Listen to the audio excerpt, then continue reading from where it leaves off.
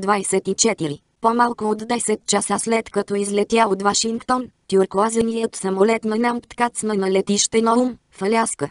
Остин и Завала замениха комфортната машина с малък двумоторен Витлов самолет и след по-малко от час отново летяха, този път към градчето провидение от руската страна, на Беринговия проток.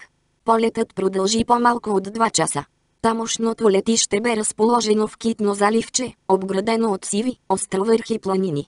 През Втората световна война градът бил междинна спирка за летателни машини от САЩ към Европа, но това бе славно минало. Днес нещата бяха различни. Докато самолетът ролираше по пистата, Остин и Завала видяха на летището само няколко чартерни самолета и военни хеликоптери. Самолетът им спри до главното здание, двоетажна, овехтяла сграда с стени и покрив от алуминий. Тя беше едновременно диспетчерска кула и офис.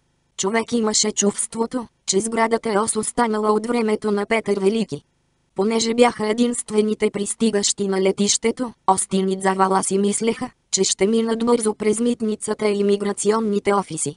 Ала привлекателната млада дама от имиграционните сякаш бе решила да прочете всяка думички в паспорта на Остин. След това поиска и документите над завала. Постави визите и паспортите им едни до други. Заедно. Попита ги тя. Остин кимна. Жената се намръщи и даде знак на въоръжение пазач наблизо. След мен. Излая изведнъж тя като лагерен сержант. Взе документите и ми ги поведе към една врата в другия край на флаието, а зад тях запристъпва пазачът. Мислех, че имаш високо поставени приятели, обади се тихо Джо. Сигурно просто искат да ни дадат ключа за града. Мисля, че искат да ни дадат по една инжекция. Виж надписа над вратата. Остин вдигна очи. На английски и руски бе написано карантина. Влязоха в малка сива стайчка, която бе напълно гола, ако не се броят една маса и три стола. Пазачът остана на пост пред вратата. Имиграционната плесна документите на масата. Събличайте се.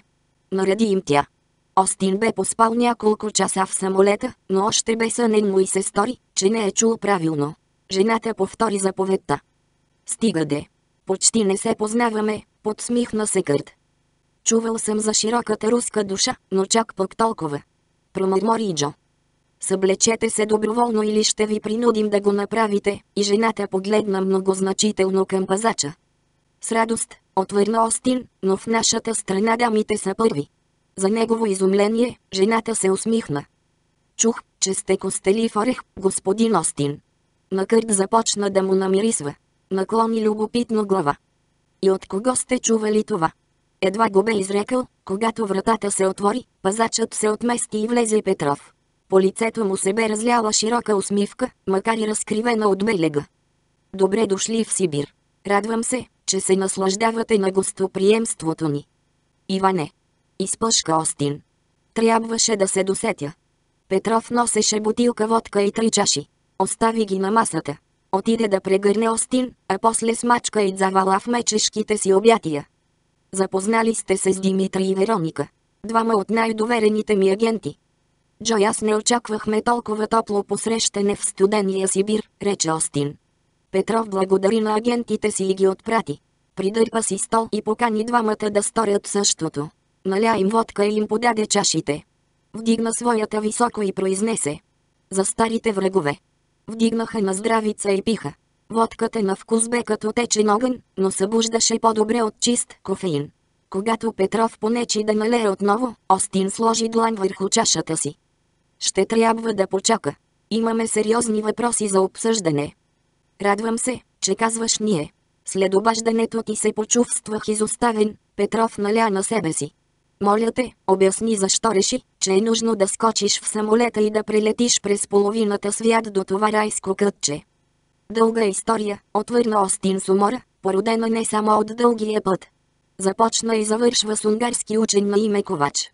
После разказа всичко в хронологичен ред, започвайки с бягството на Ковач от Прусия, та чак до последните събития, огромните вълни, водовъртежите и разговора си с Барет. Петров слушаше мълчаливо, а когато Остин свърши, побутна настрани недокоснатата си водка. Страхотна история. Наистина ли вярваш, че тези хора са способни да обърнат полюсите? Вече знаеш каквото знаем и ние. Ти какво смяташ?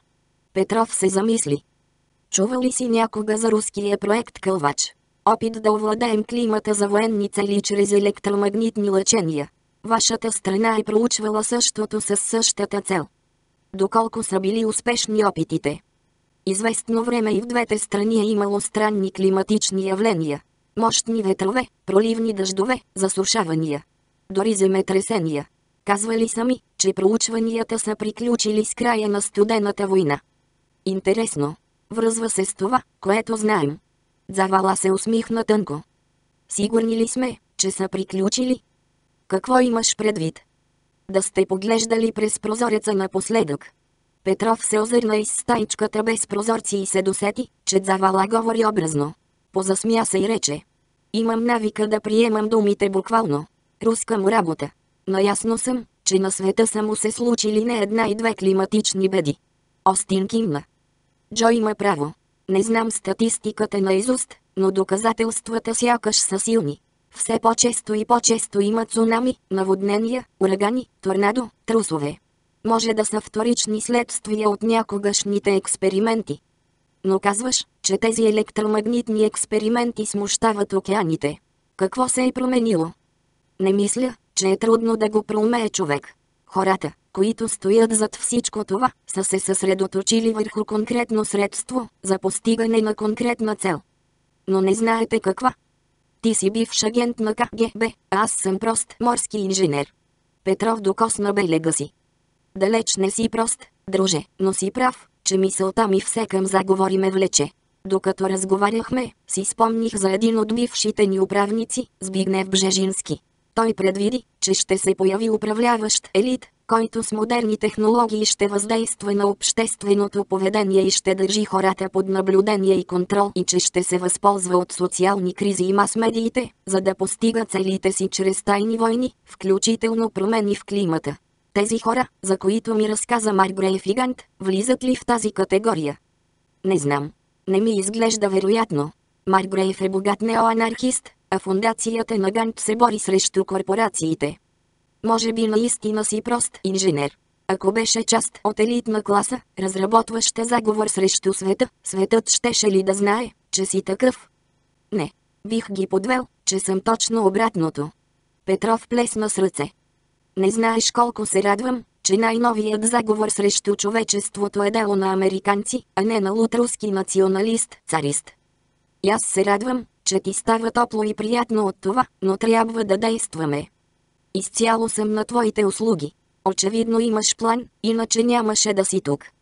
Понеже не знаем нито кой, нито защо, остава никакво. Полярно изместване. Трябва да го спрем.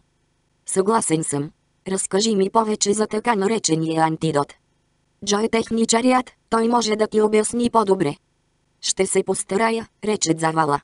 Доколкото разбирам, идеята е да се предизвика размяна на полюсите, като се въздейства с електромагнитни лъчения върху земната мантия, които ще създадат специфичен тип вибрации в ядрото. Цялата работа може да се сравни с звуковите вълни. Ако си в хотел и искаш да приглушиш гласовете от съседната стая, пускаш вентилатора и вибрациите му неутрализират шума. Ако искаш да заглушиш по-висок тон, като от сешуар, например, ще ти е нужна друга частота. Тези частоти за заглушаване се наричат бял шум. Чуват се като съсък или като шумолящи листа. Антидотът за електромагнитните лъчения е нещо подобно. Но няма да помогне, ако не разполагаме с точните частоти. И мислите, че тази Карла Януш ги знае? Може и да не ги знае, но доказателствата по-скоро навеждат на мисълта, че ги знае, включи се Остин. Но дори да оставим на страни глобалните последствия, една млада жена може да изгуби живота си, ако не се намесим. И мускулче не трепна по лицето на Петров, но в очите му се появиха весели пламъчета. Ето една от многото причини да те харесвам, Остин. Ти си олицетворение на галантността, истински рицар в блестящи доспехи. Мерси за комплимента, но времето ни изтича, Петров. Така е. А вие имате ли въпроси? Да, обади се Джо. Вероника има ли телефонен номер? Питая сам. Петров на водката си, затвори бутилката и я пъхна под мишница, а после ги изведе от сградата. Навън ги чакаше кола. Имаме и специален багаж, каза Остин и посочи две големи турби. Моля, отнесете се внимателно с тях. Принесохме всичко. Качиха се и колата се насочи към морето. Стигнаха до широк, схлупен пристен. Очакваше ги 20-метрова лодка, а при подвижното мостче и няколко души. Остин излезе от колата и попита какво означава надписа на кирилица по корпуса. Арктически разходки. Туристическа компания, която развежда богати американци из забравени от бога кътчета срещу луди пари. Наех лодката за няколко дни. Ако някой пита, ще му кажат, че развеждаме бойскаути из природата. Докато Петров ги съпровождаше по трапа, Остин с облегчение установи, че багажът им магически се е появил на палубата. Пътуваха с малко багаж, с по една пътническа чанта и двете специални турби. Петров ги поведе към главната каюта. Остин хвърли бърз поглед из нея, стигаше му, за да установи, че това не е обикновена туристическа лодка. По-голямата част от вградените мебели ги нямаше, бяха останали само масата и тапицираните пейки край стените. Димитри и Вероника седяха на една от тях, а до тях имаше четирима мъже в камуфлажни униформи. И шестимата почистваха впечатляващ набор автоматични оръжия. Виждам, че бойскаутите се готвят да си заслужат значката за точна стрелба. Ти какво мислиш, Джо? Повече ме вълнува момичето скаут, намигнат завала и отиде при младата рускиня. Остин погледна въпросително Петров. Знам, че искаш да действаме фино, рече Петров, и съм напълно съгласен с теб. Но трябва и да имаме нещо в резерва. Виж, само шестима са, не са цяла армия. Носят повече огнева мощ от всички войници в битката при Гетисбърг, взети заедно, не се сдържа Остин. Тази огнева мощ може да ни потрябва. Ела в каютата ми, за да обсъдим ситуацията. Петров го заведе в спретнатата си самостоятелна кабина и взе един голям плик от койката си. Извади няколко снимки и ги подаде на Остин. Кърт ги огледа внимателно на светлината от прозорчето. На снимките се виждаше издължен сивкав остров. Беше сниман от различни ъгли, а по средата му имаше планина с формата на поничка. Остров Айвари. Снимките са от сателит. Правени са през последните няколко дни. Петров извади малка лупа от джоба си и посочи към една вдлъбнатина в южния край на острова. Това е естествено пристанище, използва го ледоразбивача, който води хора до там и ги взима, и им носи провизии. Този кораб е свалил Карла Януш на острова преди два дни, когато тя се е присъединила към една експедиция, която вече е била на острова. Каква по-точно? Научно-фантастична. Някакви луди руснаци и японци искат да открият ДНК от вълнист мамут и да го клонират. А тук, от другата страна на острова ледът е ерозирал и има естествени заливчета. Остин забеляза издължен силует в едно от тях. Лодка. Чиято и да е, собственикът не иска да го видят, иначе биха акостирали в основното пристанище. Мисля, че похитителите са пристигнали. За колко време можем да стигнем до там? След около 10 часа. Тази лодка развива 40 възела, но разстоянията са огромни, а и ледът може да ни забави. Нямаме толкова време. Така е, затова имаме план за спешни ситуации, Петров погледна часовника си. След 45 минути от сушата ще пристигне хидроплан. Когато презареди, ще ни откара до ледоразбивача котелни, между остров Врангел и полярните ледове. Три часа по въздух. Ледоразбивачът ще ви остави на острова. Ами ти и приятелите ти. Тръгваме веднага след вас и ако имаме късмет, ще пристигнем утре. Остин стисна ръката на Петров. Не знам как да ти се отблагодаря, Иване. Би трябвало аз да ти благодаря. Вчера гниех в московски офис. Днес търча да спасявам девица в беда. Може да ми е трудно да откопчат завала, намигна му Остин. Опасенията му се оказаха неоснователни. Когато влезе в главната каюта, видят завала да си говори с един от мъжете. Вероника и Димитри бяха в другия ъгъл и също разговаряха оживено. Съжалявам, че ще те лиша от един прекрасен романс, но трябва да тръгваме, обърна се Остин към завала. Няма проблем. Петров не ми каза, че Вероника и Димитри са женени. Един за друг. Къде отиваме? Остин му обясни какви са плановете на Петров и излязоха на пристена да чакат хидроплана. Машината подрани с 15 минути. Спря до горивната помпа в края на кея. Остин наглеждаше багажа, докато го товареха в самолета, после и двамата с завала се качиха. Хидропланът пое по водната повърхност на залива, вирна носи по доста ръгъл се изкачи над сивите планински върхове. Оттам пое на север към неизвестното. 25. Клепачите на Карла трепнаха и тя отвори очи. Беше тъмно като фрок, но сетивата й постепенно се връщаха към живот. В устата си усети металния вкус на кръв. Гърбът я болеше, все едно лежеше на пирони. Нещо до нея прошумоля. Спомни си жълтозъбия си нападател. Наполовина в несвяст, тя размаха ръце на посоки в мрака, за да се отбранява. Не. Чу оплашения си глас. Ръката й се блъсна в нечия тяло и една едра длан с пръсти като стоманени клещи притисна устата й. Светна фенерче и освети лице сред мрака. Тя спря да се съпротивлява. Беше остарял много. Имаше много повече бръчки, кожата му беше увиснала, край острите му очи се виждаха бръчици, а над тях побелели вежди, но иначе бяха също така сини, както ги помнеше. Той свали ръка от устата й. Чичо Карл, усмихна се Карла. Тънките му устни се извиха в лека усмивка. По-точно съм ти кръстник. Но съм аз, да, Чичо Карл. Как се чувстваш? Ще се оправя, Карла се насили да стане, макар това да я замая. Прокара език по подутите си устни и си спомни похищението. Имаше още четирима учени. Отведоха ги, чух изстрели. В погледа му се прокрадна болка. Боя се, че са мъртви. Но, но защо? Нападателите не са искали свидетели. На какво? На твоето убийство. Или на похищение ти. Не съм сигурен какво са намислили, но със сигурност не е хубаво. Няма логика. Пристигнах преди два дни. Никой не ме познава. Изучавам кости, като всички останали. Защо ще ме убиват? Шриодер завъртя леко глава и се ослуша. Изключи фенерчето и рече равно и спокойно. Мислят, че дядо ти е криел много важна тайна и че я е предал на теб, и искат да се уверят, че никой друг няма да я научи. Дядо ли? Карла почти се засмя, въпреки болката в гърлото си. Абсурд. Никакви тайни не ми е казвал. Това няма значение, важното е, че те мислят, че ти е казал. Тогава аз съм виновна за смъртта на учените. Не ти, а онези с оръжията са виновни, после пъхна фенерчето в ръката й, за да й вдъхне поне малко чувство за сигурност. Тя освети стените и тавана. Къде сме? В една пещера. Донесох те тук. По чиста случайност успях да се измъкна от пролома и веднага след това попаднах на естествена каменна стена. Беше разцепена на много места. Реших, че можем да се скрием в някоя пукнатина. Установих, че една от пукнатините се разширява. Насякох клони от хръстелаците наоколо и скрих входа на пещерата.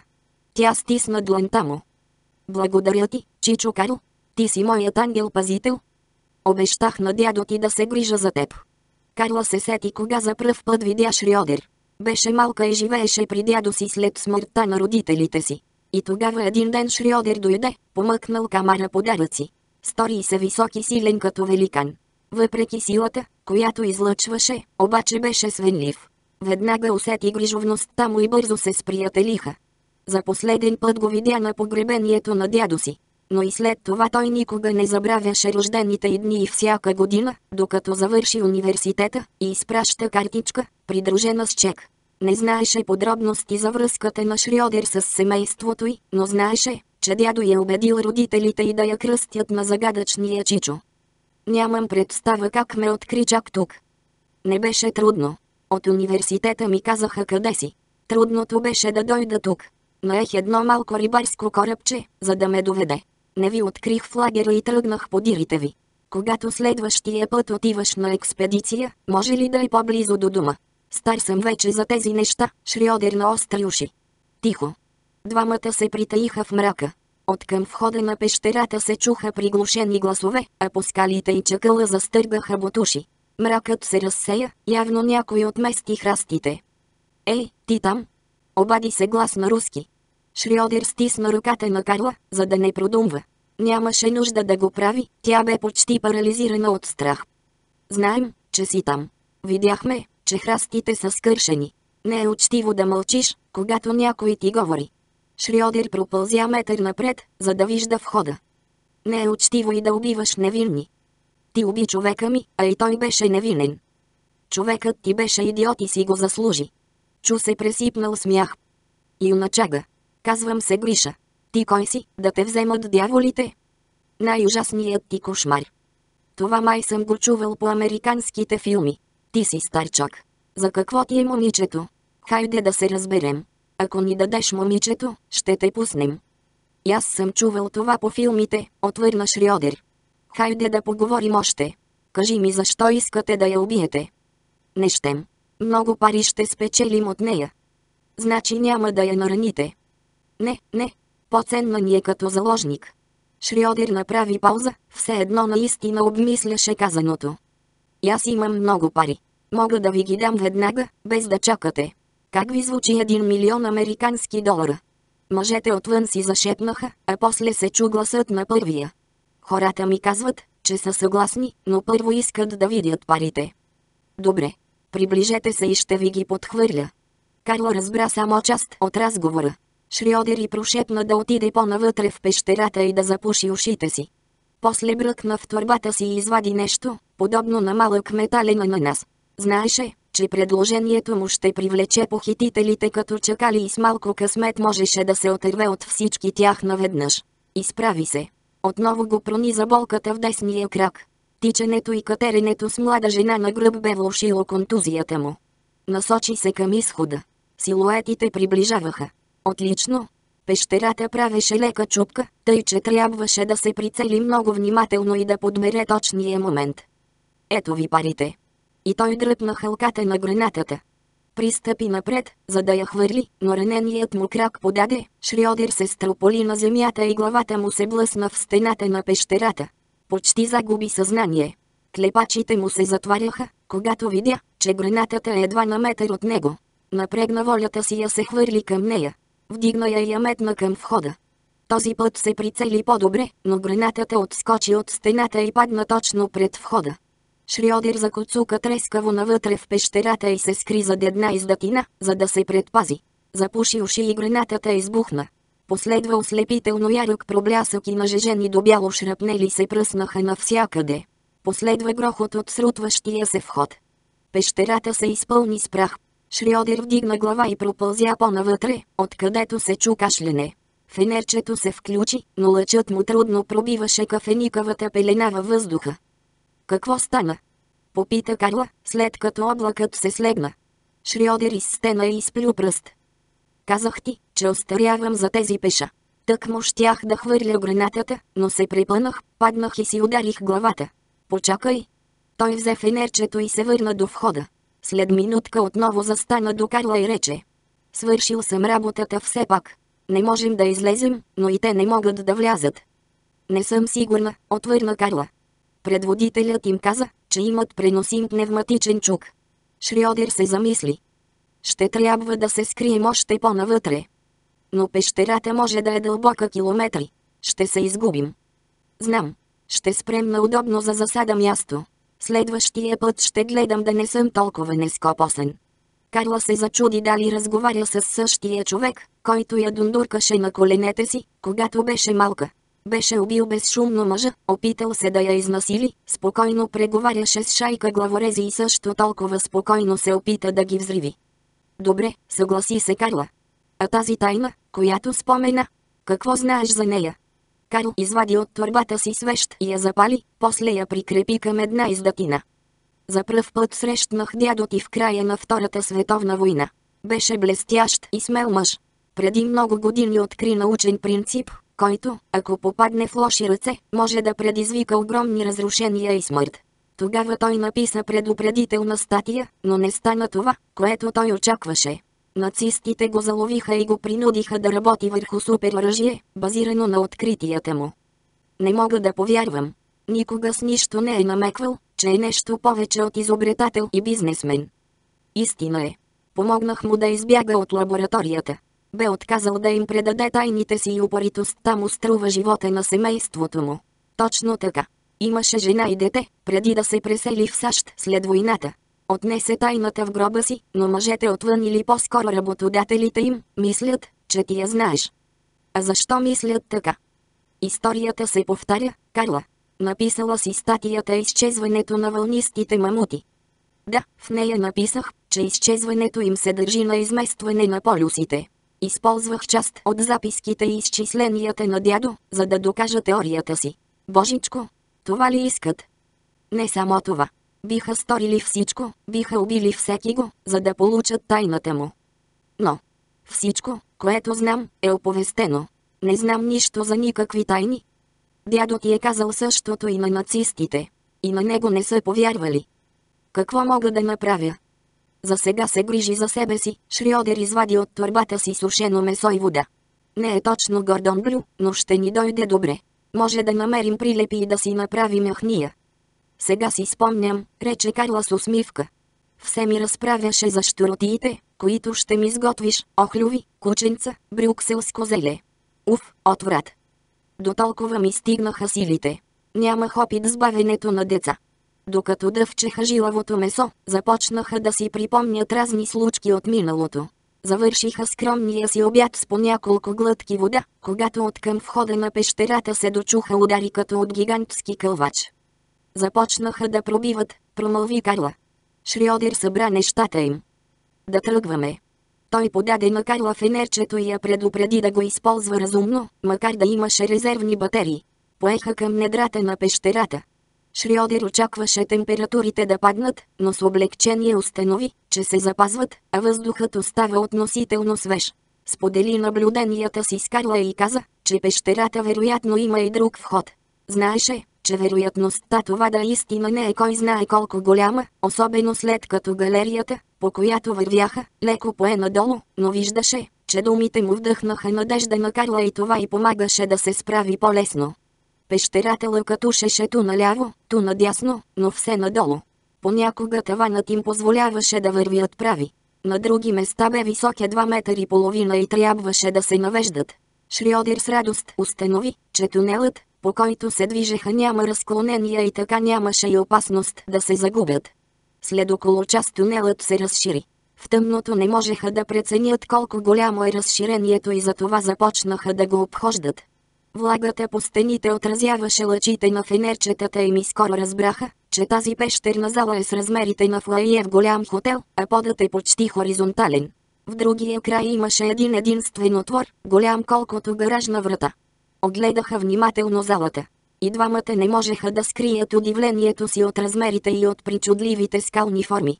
Докато Шриодер обмисляше дали да не направи засада тук, тъй като залата с всичките си скришни местенца по стените изглеждаше като идеалното място, Карла се насочи към другия изход.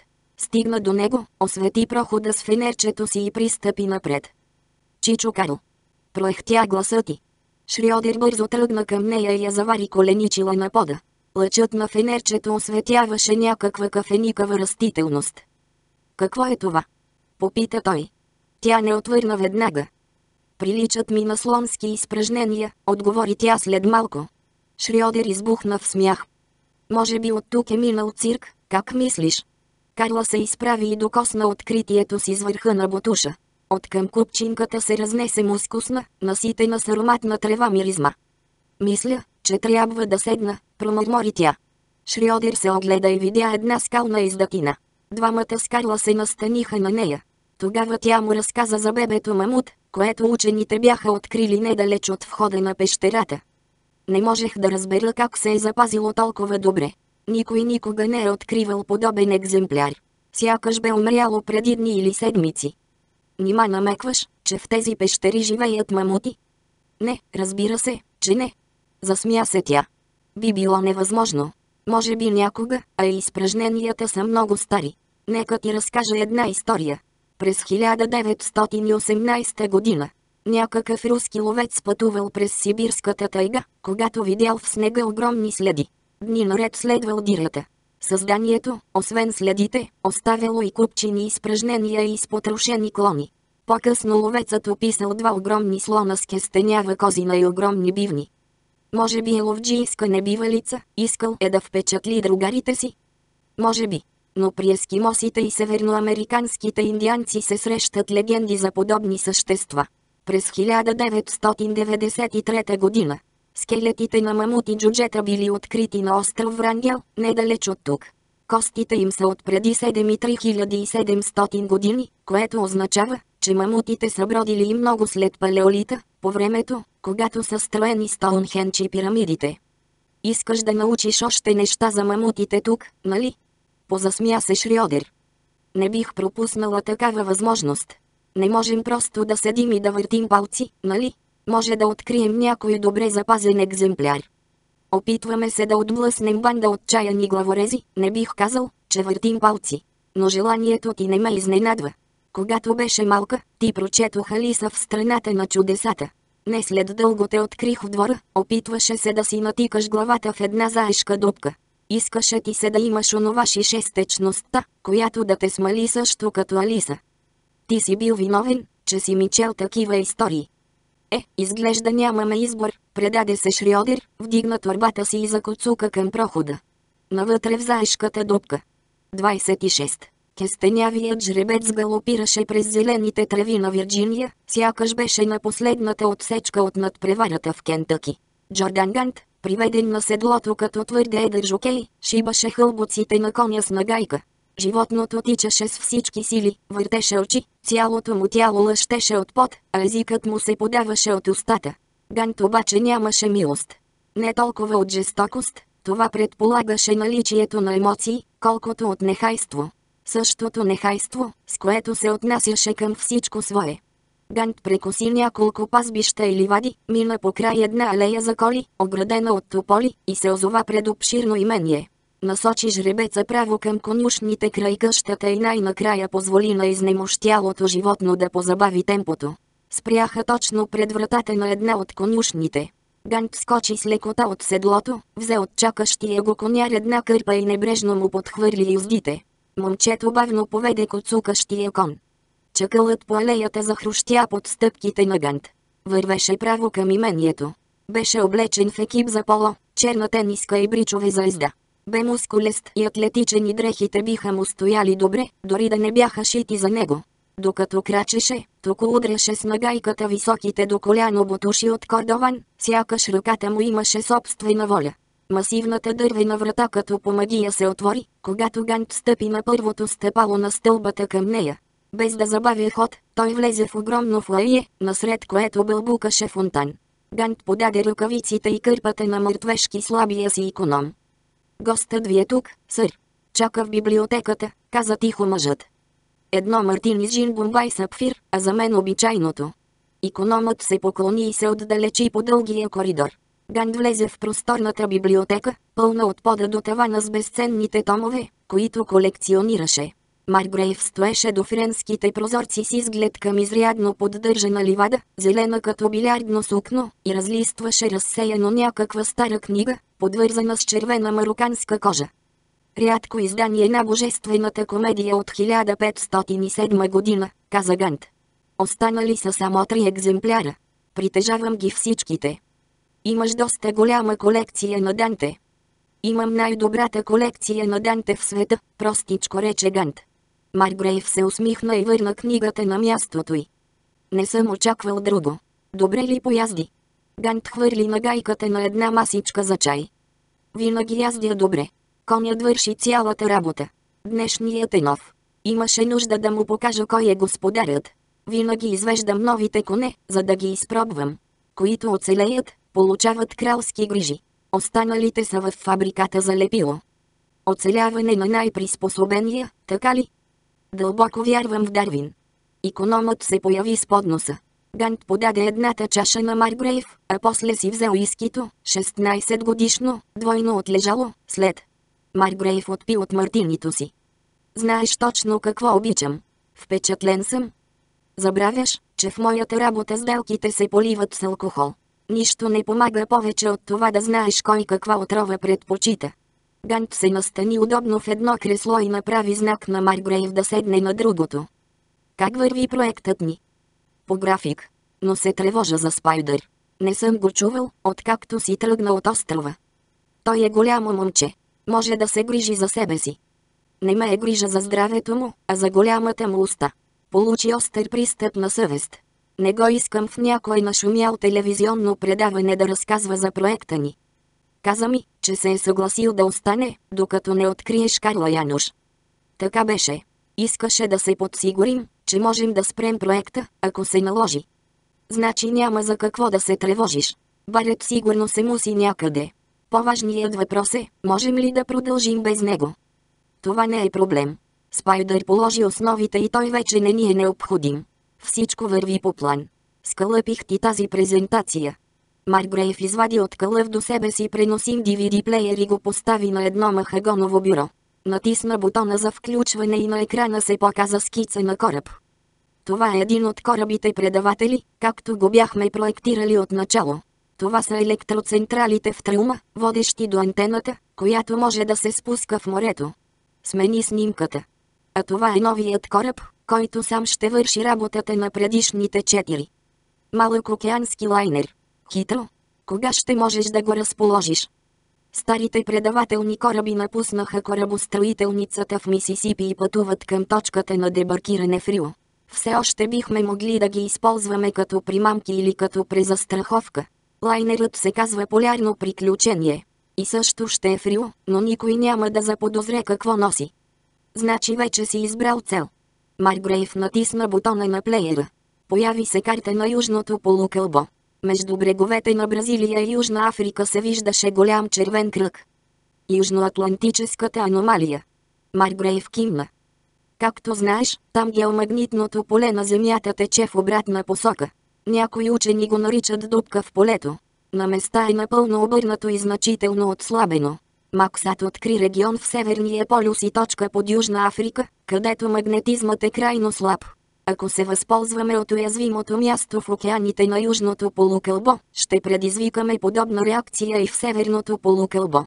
Гант се подсмихна. Това е красотата на плана ни.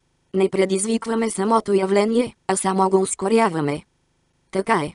Магнитните полюси са се измествали и преди без помощта на човека, а електромагнитното поле на планетата е започнало да отслабва в последните 150 години, което е белег за нова инверсия на полюсите. Някои смятат, че инверсията даже закъснява. Магнетизмът се влияе от завихренията подземната кора. С малко допълнителни смущения инверсията на полюсите, която така и така ще се случи, ще стане реалност още сега. Както казваш, просто помагаме да се случи нещо, което и без друг предстои. Удивително. Да приема ли, че няма промяна в първоначалните ни очаквания какво ще стане след малкото ни разместване? Компютърният модел е стабилен. Основните магнити полета почти ще изчезнат. За около 3 дни на практика няма да има магнитни полюси. След това ще се завърнат, но обърнати. Компасите ще сочат на юг. Електрическите мрежи и сателитите ще се повредят, бозайници и птици ще се дезориентират, полярните сияния ще се появят около екватора, а озоновите дупки ще се разширят.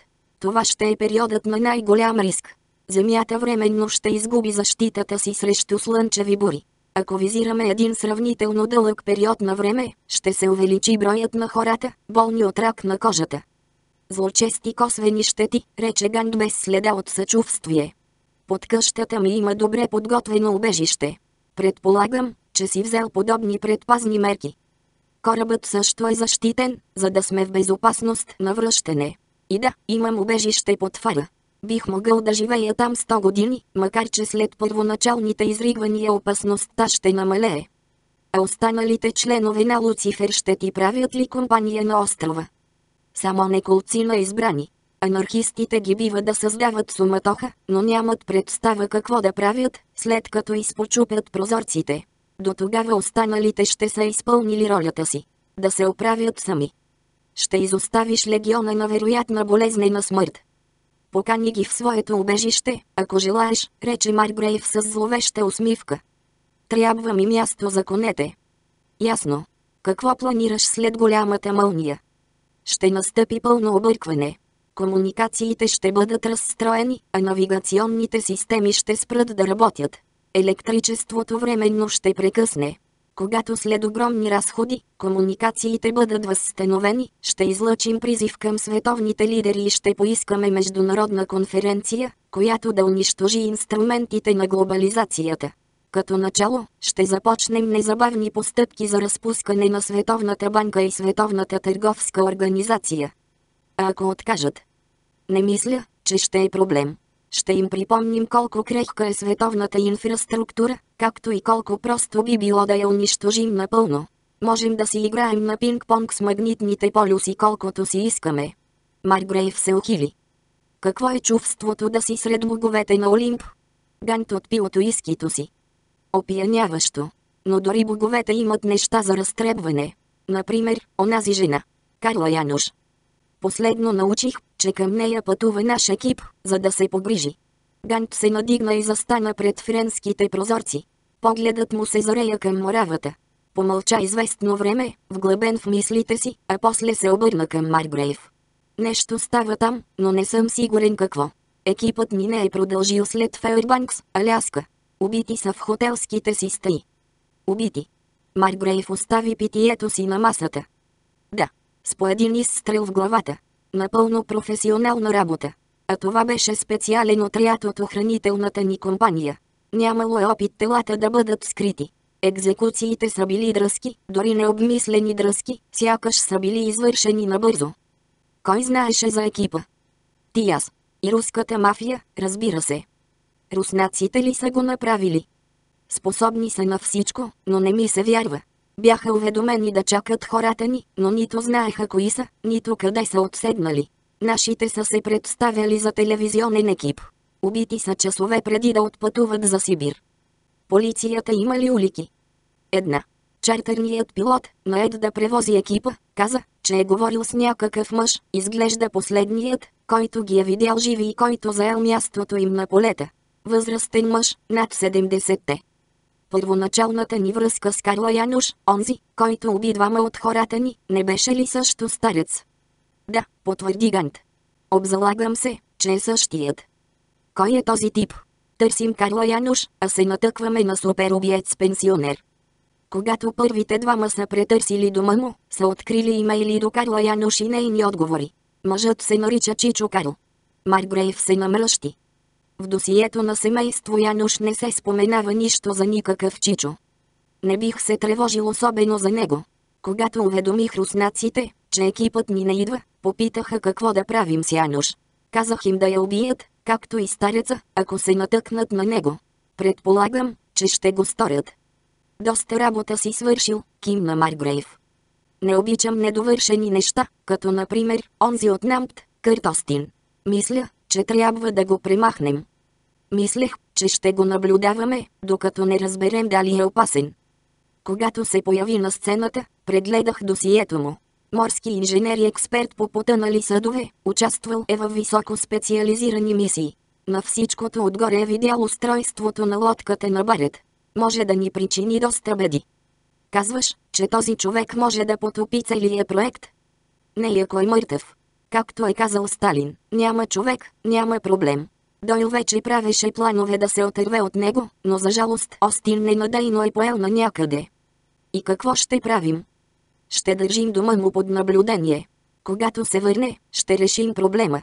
Междувременно направи всичко възможно да ускориш техническата страна на нещата. Тогава по-добре да тръгвам, надигна се Маргрейв. Гант изпрати госта си до колата му. Двамата мъже си стиснаха ръцете и се разбраха да поддържат връзка. Гант се обърна и пое към къщата. Точно пред входа го настигна конярят му. Как е новият кон? Попита Гант. Око цял е, сър. Застреляй го, нареди Гант и се прибра в къщата. 27. Кухините и коридорите на подземния комплекс бяха като пейзаж от сюрреалистичен сън. Минерални образования в меко оранжево и жълто висяха по стените, а от тавана се спускаха сталактити, някои големи колкото молив, а други колкото огромни дървета.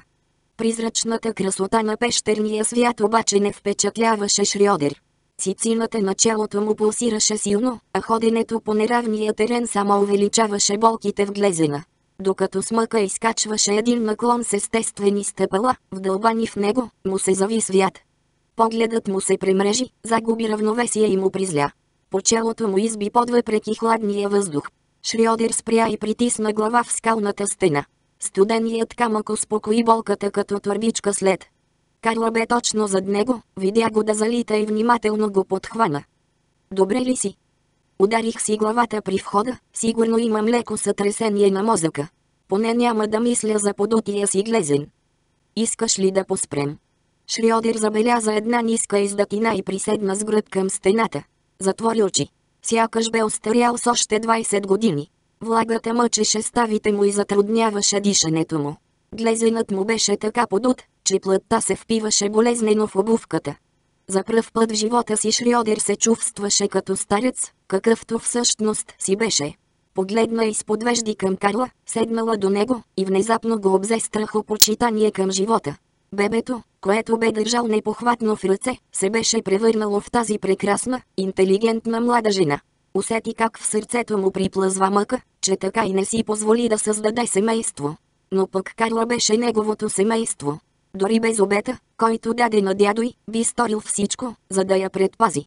Почивката им обаче беше кратка. Отзад се дочуха приглушени гласове. Шриодер рязко се изправи и прошепна на Карла да изключи фенерчето. И двамата застинаха в мрака и се заослушваха. Заради отраженията в многобройните чупки на пещерния комплекс, гласовете приличаха на боботене на тролове. Когато гласовете наближиха, се разделиха и се чуха ясно. Бяха мъжки гласове, които говореха на руски. Шриодер се надяваше да не им се налага да се крият още по-дълбоко под планината. Тревожеше се как ще намерят обратния път. Но очевидно бе подценил решителността на Гриша и бандата му главорези. Опита се да забрави за болния крак и отново тръгна напред. Тунелът слизаше надолу по легато около стотина метра, след това се изравняваше. Шриодер се чувстваше все по-зле. Наложи му се няколко пъти да се подпира на стената, за да не падне. С това негово бавно придвижване рискуваха да изгубят над преварата с преследвачите си. Карла първа забеляза пукнатината в стената. Шриодер толкова много искаше да увеличи разстоянието между тях и руснаците, че не бе забелязал цепнатината във варовика, тесен отвор не повече от стъпка широки метър и половина висок. Първият порив на Шриодер бе да продължат. Дупката можеше да се окаже смъртоносен капан. Провря глава и установи, че след няколко крачки тунелът се разширява. Каза на Карла да почака и продължи още 50 на стъпки по тунела, по който бяха вървели до сега. След това остави фенерчето на пода, сякаш го беше изпуснал и побърза да се върне при Карла. Гласовете се усилиха. Шриодер и Карла се провряха в пукнатината и се запримъкваха напред, докато не откриха място, където пещерата правеше лек завой. Шриодер свали автомата от рамото си и притисна гръб към стената. Първият, минал през отвора, щеше да е мъртвец. От към главния тунел се виждаше призрачната светлина на фенерчета.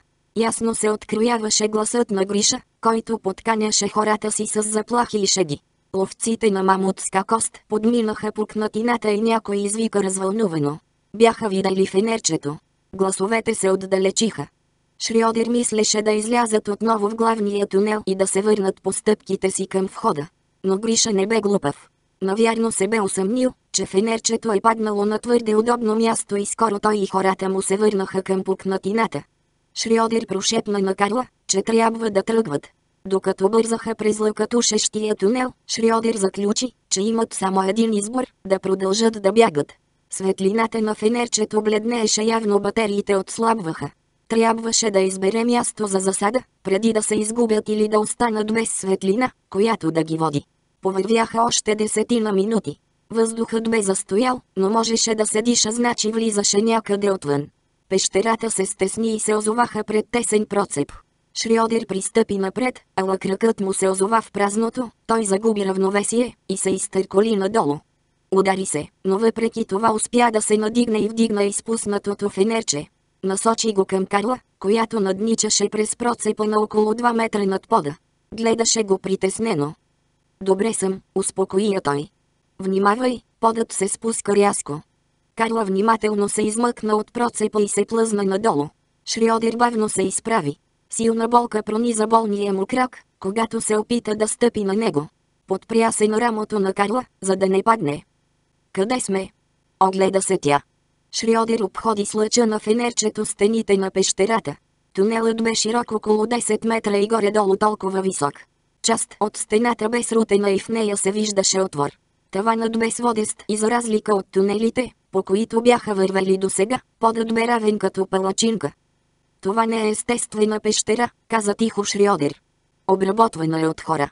И той насочи фенерчето към отсрещната стена. И май си имаме компания. По стената се виждаха изображения на мъже и жени в реални размери.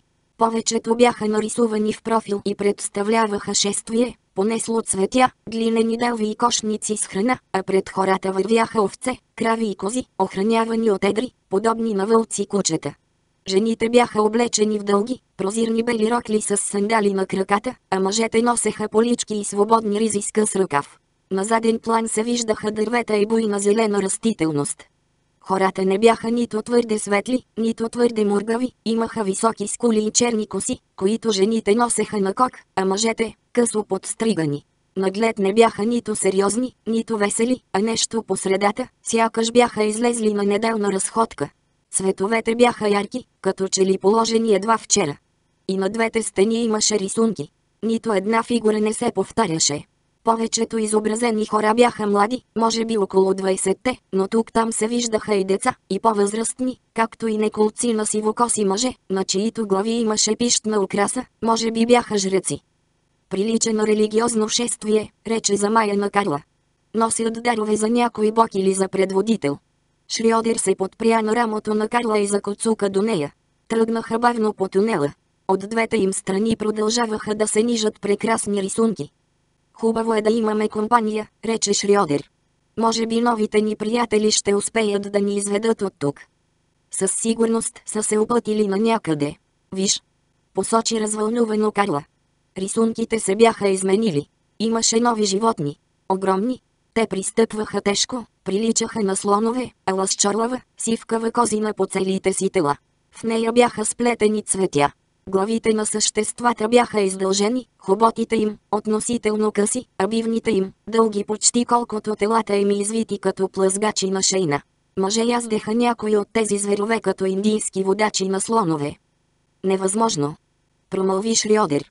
Омагьосана, Карла пристъпи напред, за да огледа рисунките по-отблизо.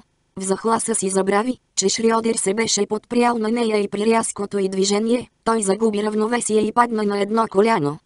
О, съжалявам. Притесни се Карла и му помогна да се изправи. Знаеш ли какво значи всичко това? На този остров е имало развита цивилизация хиляди години преди египтяните да построят пирамидите. Може би още когато островът е бил съединен с континента. Само по себе си това е смайващо. Но че са опитомявали мамути. Невероятно е. Статията ми за начина, по който човекът е използвал мамутите, е буклук. Мислех, че праисторическите хора са използвали мамути за храна и са майсторели оръжия и инструменти от костите им, но всъщност тези животни са ни служили. Това е научното откритие на века. Ще трябва да пренапишем всички учебници. Споделям вълнението ти, отвърна Шриодер. Но нека погледнем практично на нещата. Никой няма да разбере за откритието ни, ако не се измъкнем от тук. Съжалявам, но всичко това е толкова. Карла откъсна поглед от изумителните рисунки. Как бихме могли да се измъкнем от тук? Шриодер плъзна лъча на фенерчето по стената. Ще позволим на приятелите ни да ни кажат. Онези хубавици там носят цветя към планината. Предлагам да разберем откъде са тръгнали и дали този тунел не води навън. Както виждаш, не ставам за участие в Олимпийски игри, а и батериите на фенерчето са на свършване. Карла хвърли изпълнен с купнеш поглед към фигурите. Прав си. Да тръгваме, преди да си променя решението. Поеха обратно. Само след няколко крачки отново дочуха руска реч. Гриша и бандитите му също бяха открили процепа. Шриодер и Карла нямаха друг избор, освен да поемат отново в първоначалната си посока. Шриодер се опита да се затича. Напрягаше все повече и повече подутия си глезен. Болеше го, но той стисна зъби и продължи. Помагаше му, че се подпира на Карла, но така и двамата се бавеха. Наложи им се да изключат фенерчето, защото той едва мъждукаше. Беше почти безполезно за тях двамата, но достатъчно, за да ориентира преследвачите им. С свободната си ръка Шриодер опипваше стената, за да се ориентират. Тунелът сякаш нямаше край. След няколко минути гласовете приближиха. Гриша и хората му се движеха доста по-бързо. Шриодер опита да ускори крачки, но така наруши общия им ритъм и ги бавеше още повече. Трябваше да спре и да каже на Карла да продължи без него. Тък му обмисляше как да обори възраженията й, когато тя се обади. Виждам светлина. Шриодер примигна и се взря в мрака. Отпред той сякаш просветляваше. Може би Шриодер грешеше за рисунките и това беше посоката, която ги извеждаше навън. Двамата продължиха да вървят. Подът под краката им постепенно се накланяше надолу. Тунелът излезе в огромна пещера. Двамата занемяха. Двоетажни здания с плоски покриви изпълваха пещерата, докъде им стигаха очите.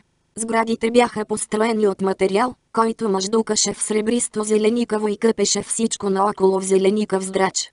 Грубите гласове зад гърбовете им ги извадиха от унеса. С смесица от страхопочитание и тревога, Карла и Шриодер заслизаха към зеленикавия град. 28. На десетия етаж в главната квартира на Нампт се намираше модерният еквивалент на прочутата Александрийска библиотека. Компютърният център зад стъклените стени заемаше цял етаж и съдържаше огромна електронна библиотека с всяка книга и статия, всеки научен факт и запис, касаещ Световния океан. Цялата тази информация беше свързана с високоскоростна мрежа, способна да прехвърля огромни количества информация само за миг.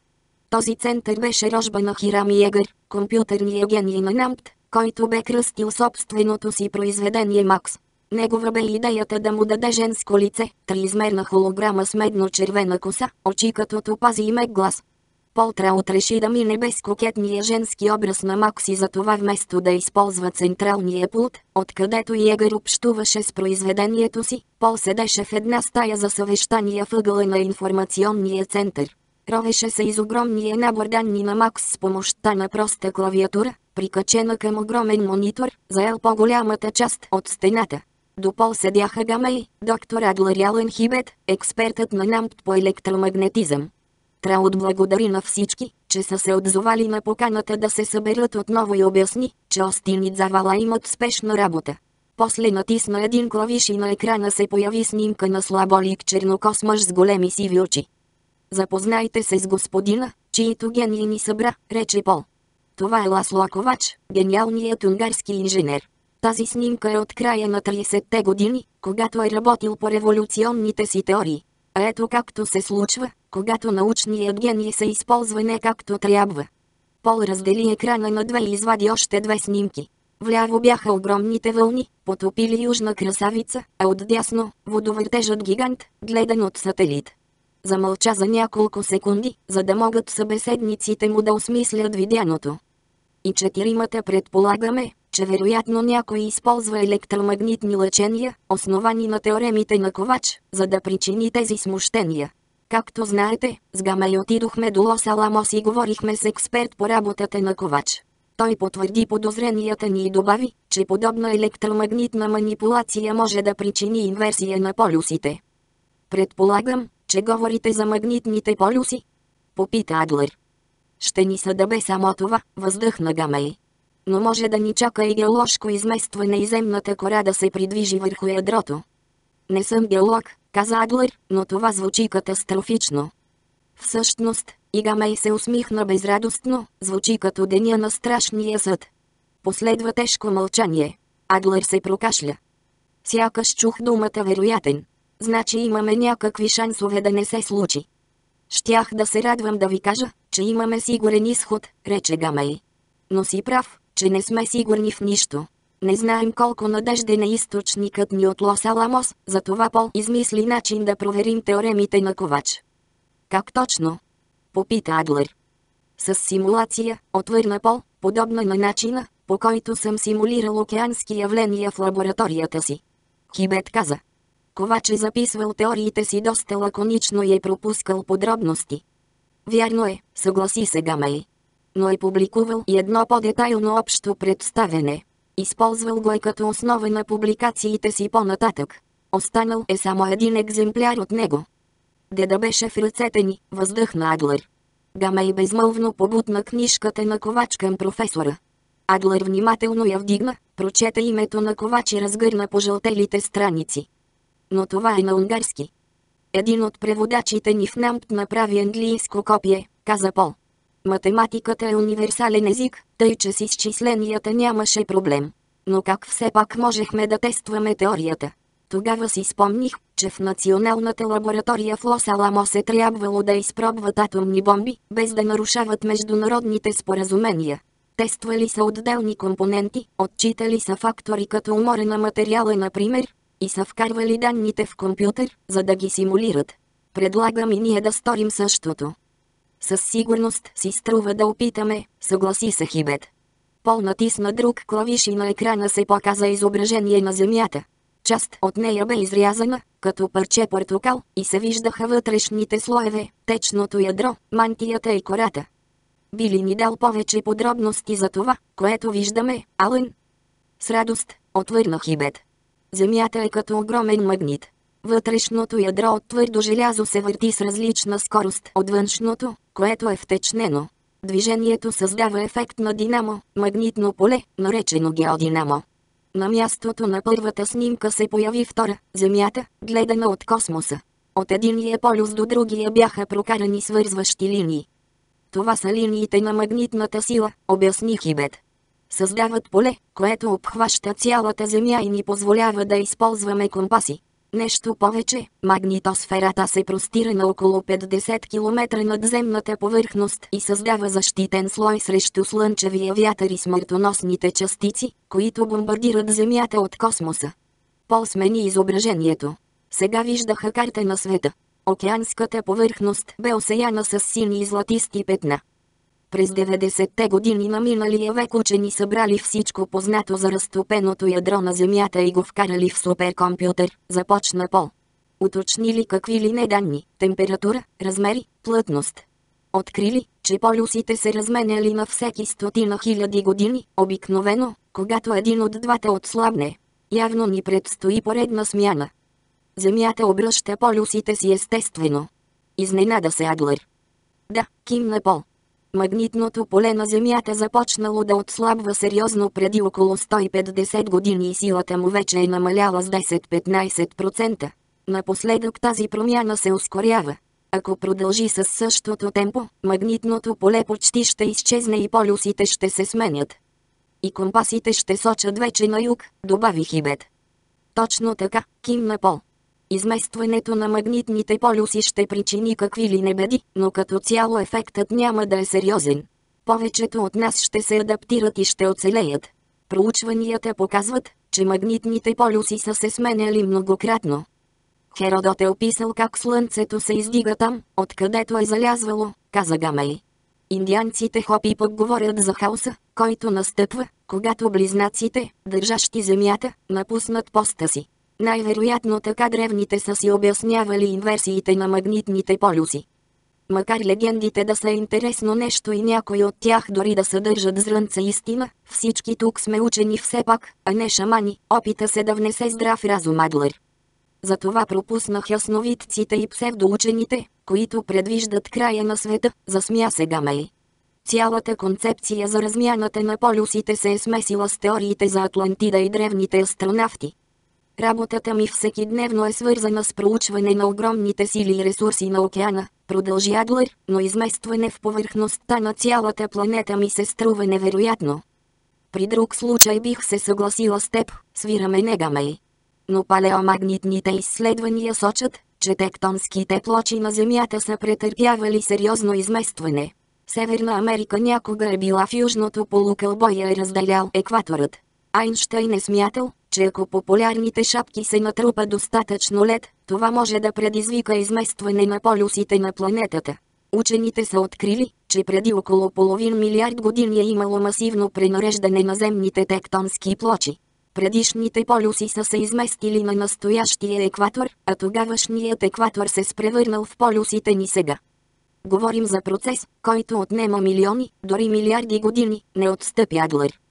Затова трябва по-внимателно да обсъдим настоящето, намеси се Пол. На екрана се виждат магнитните полета на Земята. Сините петна са с заряд, насочен навътре. Златистите са с заряд, насочен навън. Британският флот пази записки на магнитния и същинския север за 300 години назад, така че имаме добра база данни. Виждаме, че сините петна се увеличават. Историческите данни биха ни подсказали къде има магнитни аномалии, където полето е обърнало посоката си. Ето това голямо петно е Южноатлантическата магнитна аномалия, където това вече се е случило, показа Пол. От началото на века насам постоянно се разраства и то с увеличаваща се скорост. Това се връзва с отчетеното от Максат, слаби региони около Северния полюс и под Южна Африка. Наблюденията съвпадат с компютърни симулации, които показват начало на изместване на магнитните полюси. Добре се аргументира, че геоложки и магнитни полярни измествания вече са се случвали, каза Адлер. Но сега говорим за случай, когато човешка ръка се опитва да го стори. Самонадеяно би било да си го помислим дори. Ние, хората, сме способни на какво ли не, но едва ли имаме силата да изместим цялата повърхност на планетата. Звучи като лудост, нали? И Пол се усмихна криво, после се обърна към Хибет. Ти си експертът по електромагнетизъм. Какво мислиш? Хибет се втренчи в екрана. Нямах представа, че аномалиите в Южния океан са се разраснали толкова много. Замисли си, като подбираше внимателно думите, продължи. Работата на Ласло Ковач е засягала самото естество на енергията и материята. Открил е, че всичко се движи между тези две състояния. Енергията не се подчинява на времето и пространството, тъй че преминава от фаза в фаза мигновено. А материята пък се води по енергията. Ако електромагнитната енергия може да се промени по определен начин, то материята може същото. Значи геоложко изместване на полюсите е възможно. Попита Гамей. Казвам само, че предизвикано от човека изместване на магнитните полюси, интензивно, макар и краткотрайно, може да причини необратими раздвижвания от геоложки характер, особено сега, когато естественото изместване и без друго е възможно. Трябва му само леко побутване. Енергийно лъчение насред електромагнитните полета, което би ги променило, може да предизвика промени и в материята. Циклонни смущения в земното ядро и магнитното поле биха могли да са причина за вълните и водовъртежа. Но това няма да е бавното разместване на тектонските плочи, което се е случило някога. Сега структурата на цялата планета може да се измени за миг. С какви резултати? Попита Гамей. Катастрофални. Ако кората се приплъзне върху разголеното ядро, ще се задействат инерционни процеси цунами, заливащи цели континенти, ветрове, по-силни от всеки ураган, земетресения, вулканични изригвания, резки промени в климата, радиационни бури. Той направи пауза. Вероятно човечеството ще бъде унищожено. В последните няколко десетилетия тежките природни стихии зачестиха, отбеляза Гамей. Чудя се дали не са предупредителни знаци. Възможно е, кимна Хибет. Преди да се плашим взаимно, предлагам да се върнем към фактите, предложи Пол. Използвал съм за основа симулациите на изместване на полюсите от Калифорнийския технически институт и Лос Аламос. Добавих доклада на доктор Адлер за океанските смушения и материала на Ален за употребата на свръхнискочестотните електромагнитни лъчения. Симулирали сме и завихрения в земното ядро, където са се сформирали магнитните полета. Публикациите на Ковач са последната част от уравнението. Така, ако сме готови. И Пол натисна поредния клавиш. Глобусът се скри и се показа съобщение. Здравей, Пол! Как е най-добре облеченият член на специалния отдел? Макс бе разпознала паролата му. Пол се размърда смутено и му се прииска компютрите да си бяха просто компютри. Въведе. Здравей, Макс! Готови сме за симулацията. Това теоретично упражнение ли е, Пол? Не. Макс направи пауза. Реакцията на Макс беше необичайна. Това събитие не бива да се случва. Пол се втренчи в думите. Въобразяваше ли си, или Макс се беше обезпокоила? Той натрака на клавиатурата. Защо? Ще причини пълното унищожение на земята. Пол преглътна на сухо. След това въведе само една дума. Как? Гледайте. Глобусът се показа отново, а златните петна по океана се раздвижиха. Червеното в Южния Атлантик се свърза с останалите петна в същия цвят, докато целият регион под Южна Америка и Южна Африка не се обагри в червено. Тогава континентите започнаха да се разместват. Северна и Южна Америка се обърнаха на 90 градуса, тъй че легнаха на една страна. Екваторът отиде на мястото на полюсите. Унищожителни явления се разпростряха по сушата като заразна болест. Пол написа още един въпрос и затаидах има ли начин да неутрализираме това? Да. Изобщо не бива да започва. Необратимо е. А има ли как да спрем изместването? Нямам нужните данни, за да отговоря. Пол знаеше, че по-далеч няма да стигне и се обърна към останалите. Адлър и Хибет имаха вид на хора, които току-що са получили билети за другия бряг на река Харон. Гамей бе също толкова стъписана, ала в очите и лицето й се четеше спокойствие и увереност. Нещо тук не се връзва. Защо някой ще прави нещо, което би унищожило и самия него? Пол се почеса по главата. Може би е старата приказка за играта с огъня. Може да не знаят колко е опасно. Капацитетът на биологичния ни вид за глупости не спира да ме изумява, поклати глава Гамей. Е, ако успеят, поне едно е сигурно, един път завинаги ще сложим край на глупостите, рече Пол. 29. Повечето американци, на които капитан Иванов се бе натъквал, бяха туристи, търсещи приключения из източно Сибирско море. Обикновено бяха богати, на средна възраст, въоръжени с фотоапарати и бинокли, и непоколебимо преследваха тази или онази рядка птица. Ала двамата мъже, които пристигнаха с хидроплана и се качиха на кораба му по един доста свойски начин, изглеждаха съвсем различно. Остин и Дзавала бяха настигнали котелни на северозапад от остров Врангел, а хидропланът бе кацнал на няколко стотин метра от плавателния съд. Капитан Иванов нареди да свалят лодка, за да приберат пътниците. Чакаше на палубата, любопитен кои са тези американци, които имат влиянието да превърнат кораба му в свой собствен ферибот. На борда пръв се качи широкоплещест мъж с руса посивяваща коса и светло сини очи. Последва го по-слаб, по-смугъл мъж, който се движеше като боксьор. Мъжете махнаха на хидроплана и той пое обратно. Капитанът пристъпи напред, за да се представи. Въпреки раздразнението си, той се придържаше стриктно към морския обичай. Ръкуването им бе силно, а за двежливите им усмивки се криеше хладнокръвие и увереност. Със сигурност тези мъже не търсеха птици. Синеокият каза. Благодарим ви, че ни приехте на борда, капитан Иванов. Казвам се Къртостин, а това е приятелят ми и партньор Джо Завала. Ние сме от НАМПТ, Националната агенция за морско и подводно дело. Каменното лице на капитана поумекна. И преди бе срещал учени от НАМПТ. Беше впечатлен от корабите и професионализма им.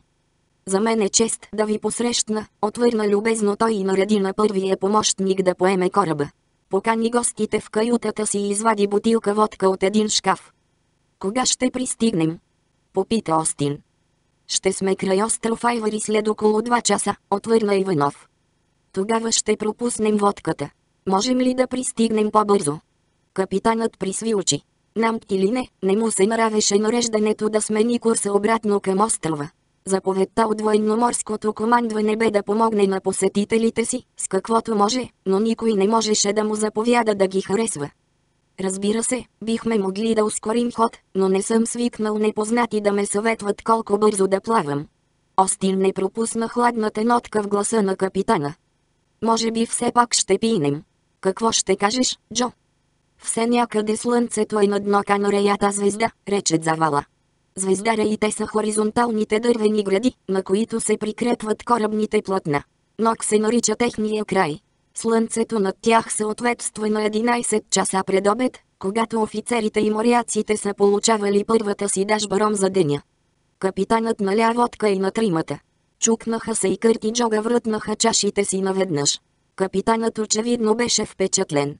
Очакваше, дори се надяваше, че ще се задавят с високоградусовия алкохол. Остин обаче похвали водката и рече.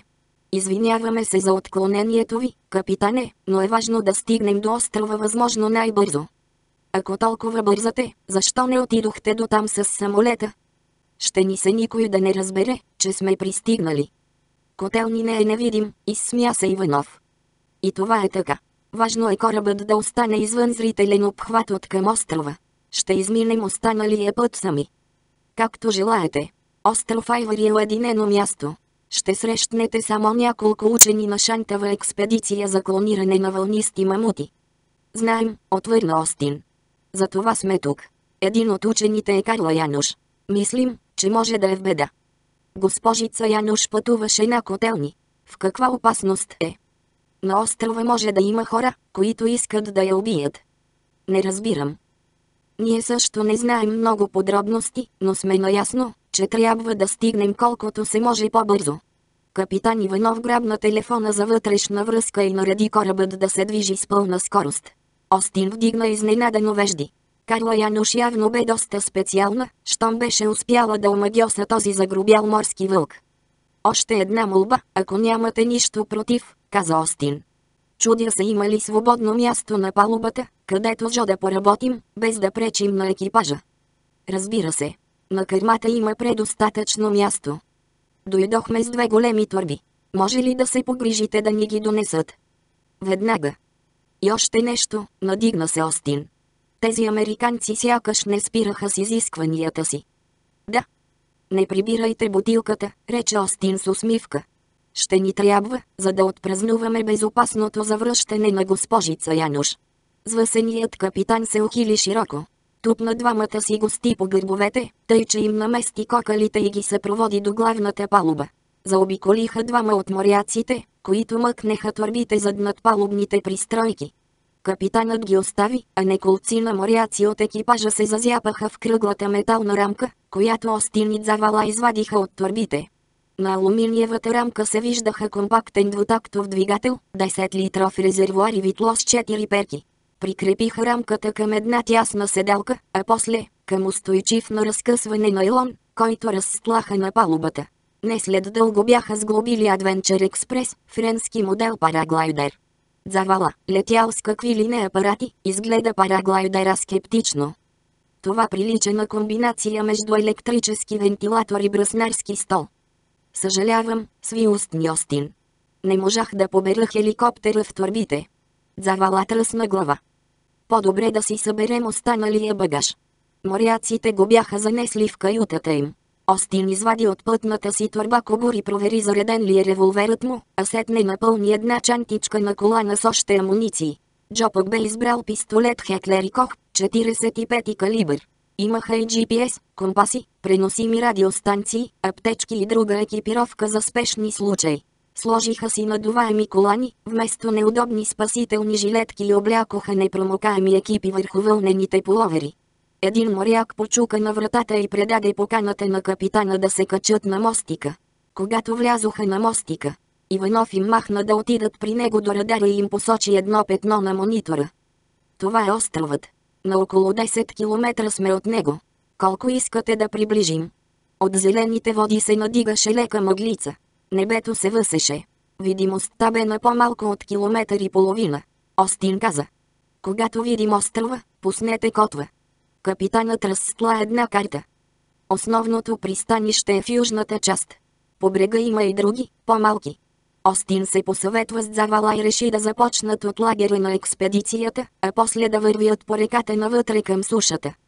Имаме гориво за около 2 часа във въздуха, тъй че ще трябва да внимаваме и да не се отклоняваме, каза Остин.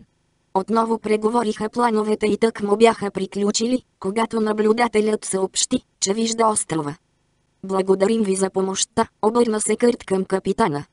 Няма защо. Госпожица Януш ми напомни за дъщеря ми. Сторете всичко нужно, за да й помогнете. По молба на Остин обърнаха кораба с кърмата към вятъра и разчистиха част от палубата.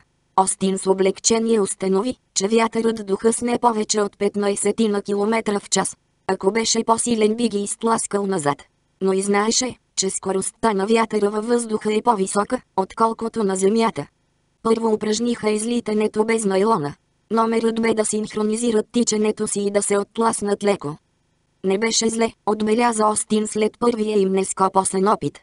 Завала хвърли поглед към моряците, които ги наблюдаваха едновременно развеселени и ужасени.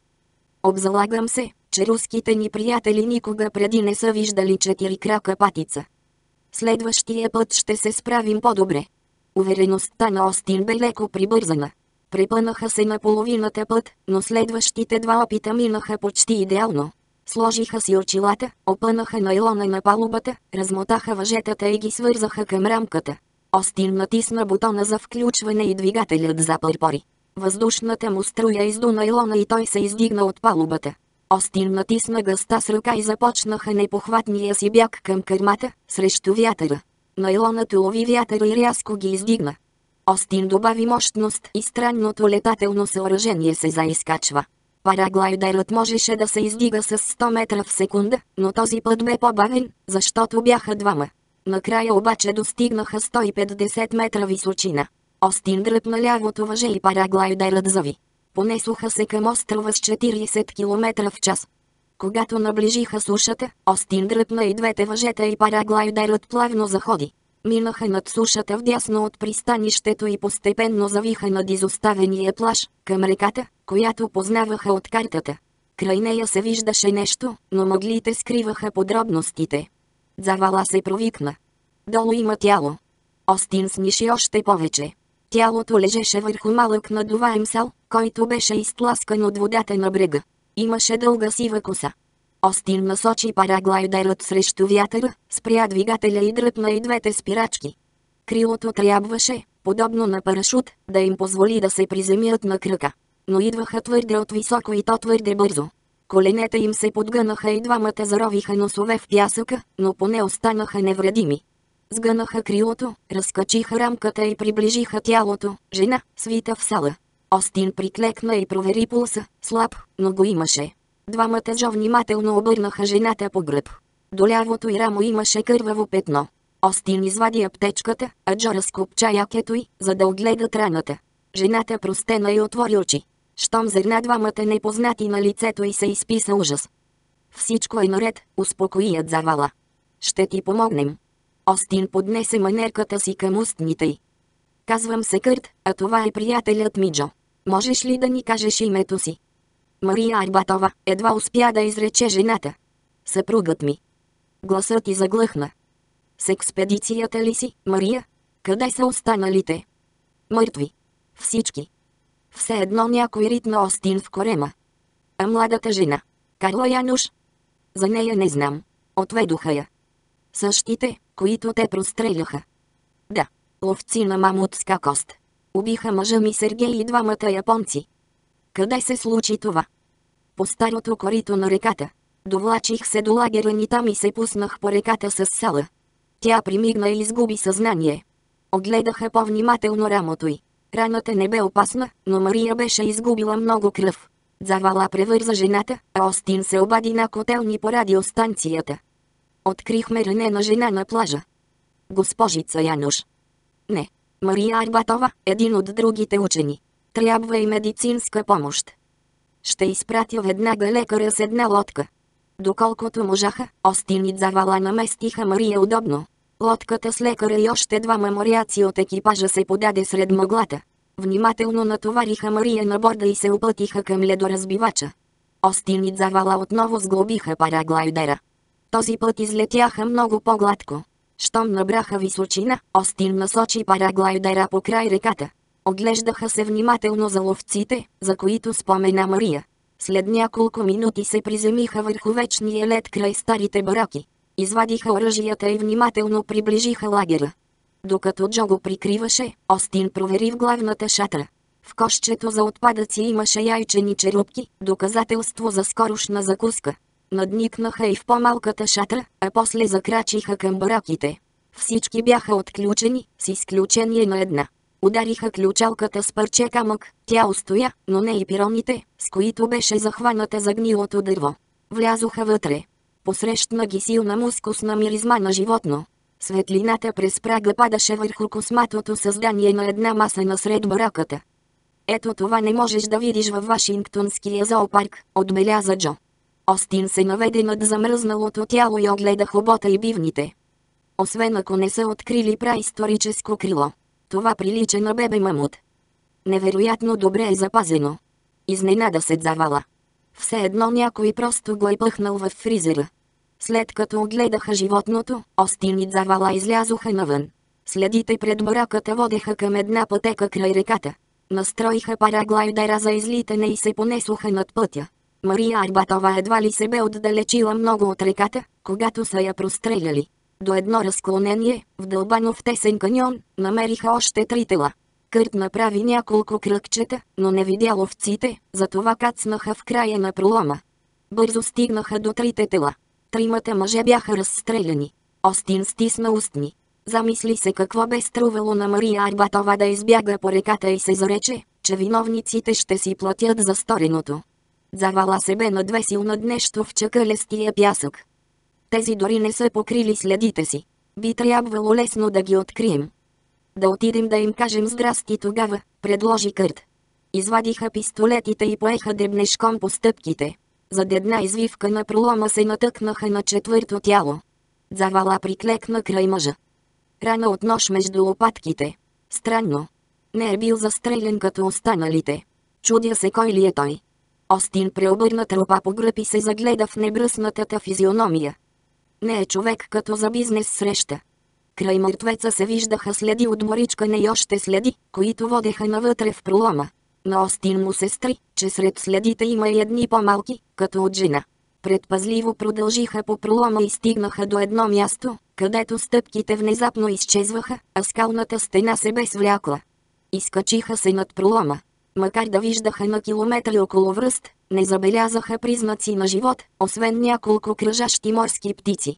Накрая стигнаха до плитка долчинка, където откриха вход към пещера. Някой е разкопавал тук, посочи завала. Добро предположение, Шерлок. Остин вдигна от земята край входа пневматичен чук, прикрепен към преносим компресор. Завала огледа внимателно и овъглените отломки около дупката. Добре, Уотсън, някой е взривявал. Тук сме от по-малко от час и това място вече не ми харесва. Кърт пролази в дупката, но след минута излезе, клатайки глава. Самоубийствено е. Не знаем колко е дълбоко, а дори фенерче нямаме.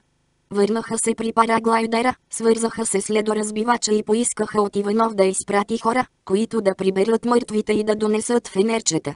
Остин предупреди капитана, че в интерес на безопасността на всички моряците да бъдат въоръжени и като знаеше кой е въпросът, който най-много вълнува стария морски вълк, добави, че има надежда Карла да е жива. Иванов пък го осведоми, че са се погрижили за Мария Арбатова и че тя е добре. Пожелаха си успех и прекъснаха връзката. След малко Остин и Завала отново излетяха с грацията на пиян албатрос и закръжиха над острова. Остин го бе разучил добре по картата, но размерите на мястото все пак го изненадаха. Площта му бе твърде голяма, за да я покрият с летателен апарат, който развиваше скорост от 45 км в час. Остин управляваше параглайдера и започна да прави разширяващи се кръгове, които им позволяваха да огледат острова, без да пропуснат нещо. Но колкото и да гледаха, виждаха само замръзнала еднообразна тундра. Остин тък му се канеше да обърне параглайдера към плажа, за да посрещнат моряците, когато Джо извика нещо в ухото му. Остин последва сочещия му пръст и видя добре очертана пътечка, която водеше към кратера на вулкана. Приближиха се да я разгледат. Пътеката се движеше на зигзаг в скалата и Остин предположи, че е правена от хора. Прилича на път, отбеляза той. И аз така си помислих. Да разгледаме ли? Предложи завала. Въпросът беше излишен. Остин вече беше насочил параглайдера към кратера. 30. Подземният град се простираше под купола на огромна пещера. До него не достигаше слънчева светлина и би трябвало да тъне в мрак, но вместо това цялото селище блестеше в сребристо-зелено светлина, която се излъчваше от всяка сграда. Защо всичко свети? Попита Шрьодер, докато коцукаше до Карла по една от улиците. В един курс по геология изучавахме минерали, излъчващи светлина, отвърна тя. Някои сияят под влиянието на ултравиолетова светлина, други – при наличие на радиация или химични реакции, но ако сме прави и това е стар вулкан, може да е термолуминисцентен ефект, предизвикан от топлината. А дали това не е стара магмена камера? Възможно е, но не знам. Само в едно съм сигурна. В какво, скъпа? Изпълненият с страхопочитание поглед на Карла се плъзна по блещукащите сгради, които ги заобикаляха. Че сме странници в странна страна. След като излязоха от тунела с рисунките, минаха под огромен свод и след като преодоляха лек наклон се озоваха на открит площад. В средата му се издигаше стъпаловидна пирамида от огромни каменни блокове. Стените й бяха изпъстрени с същите изображения, шествието с дарове из вълнистите мамути, но цветовете бяха по-бледи.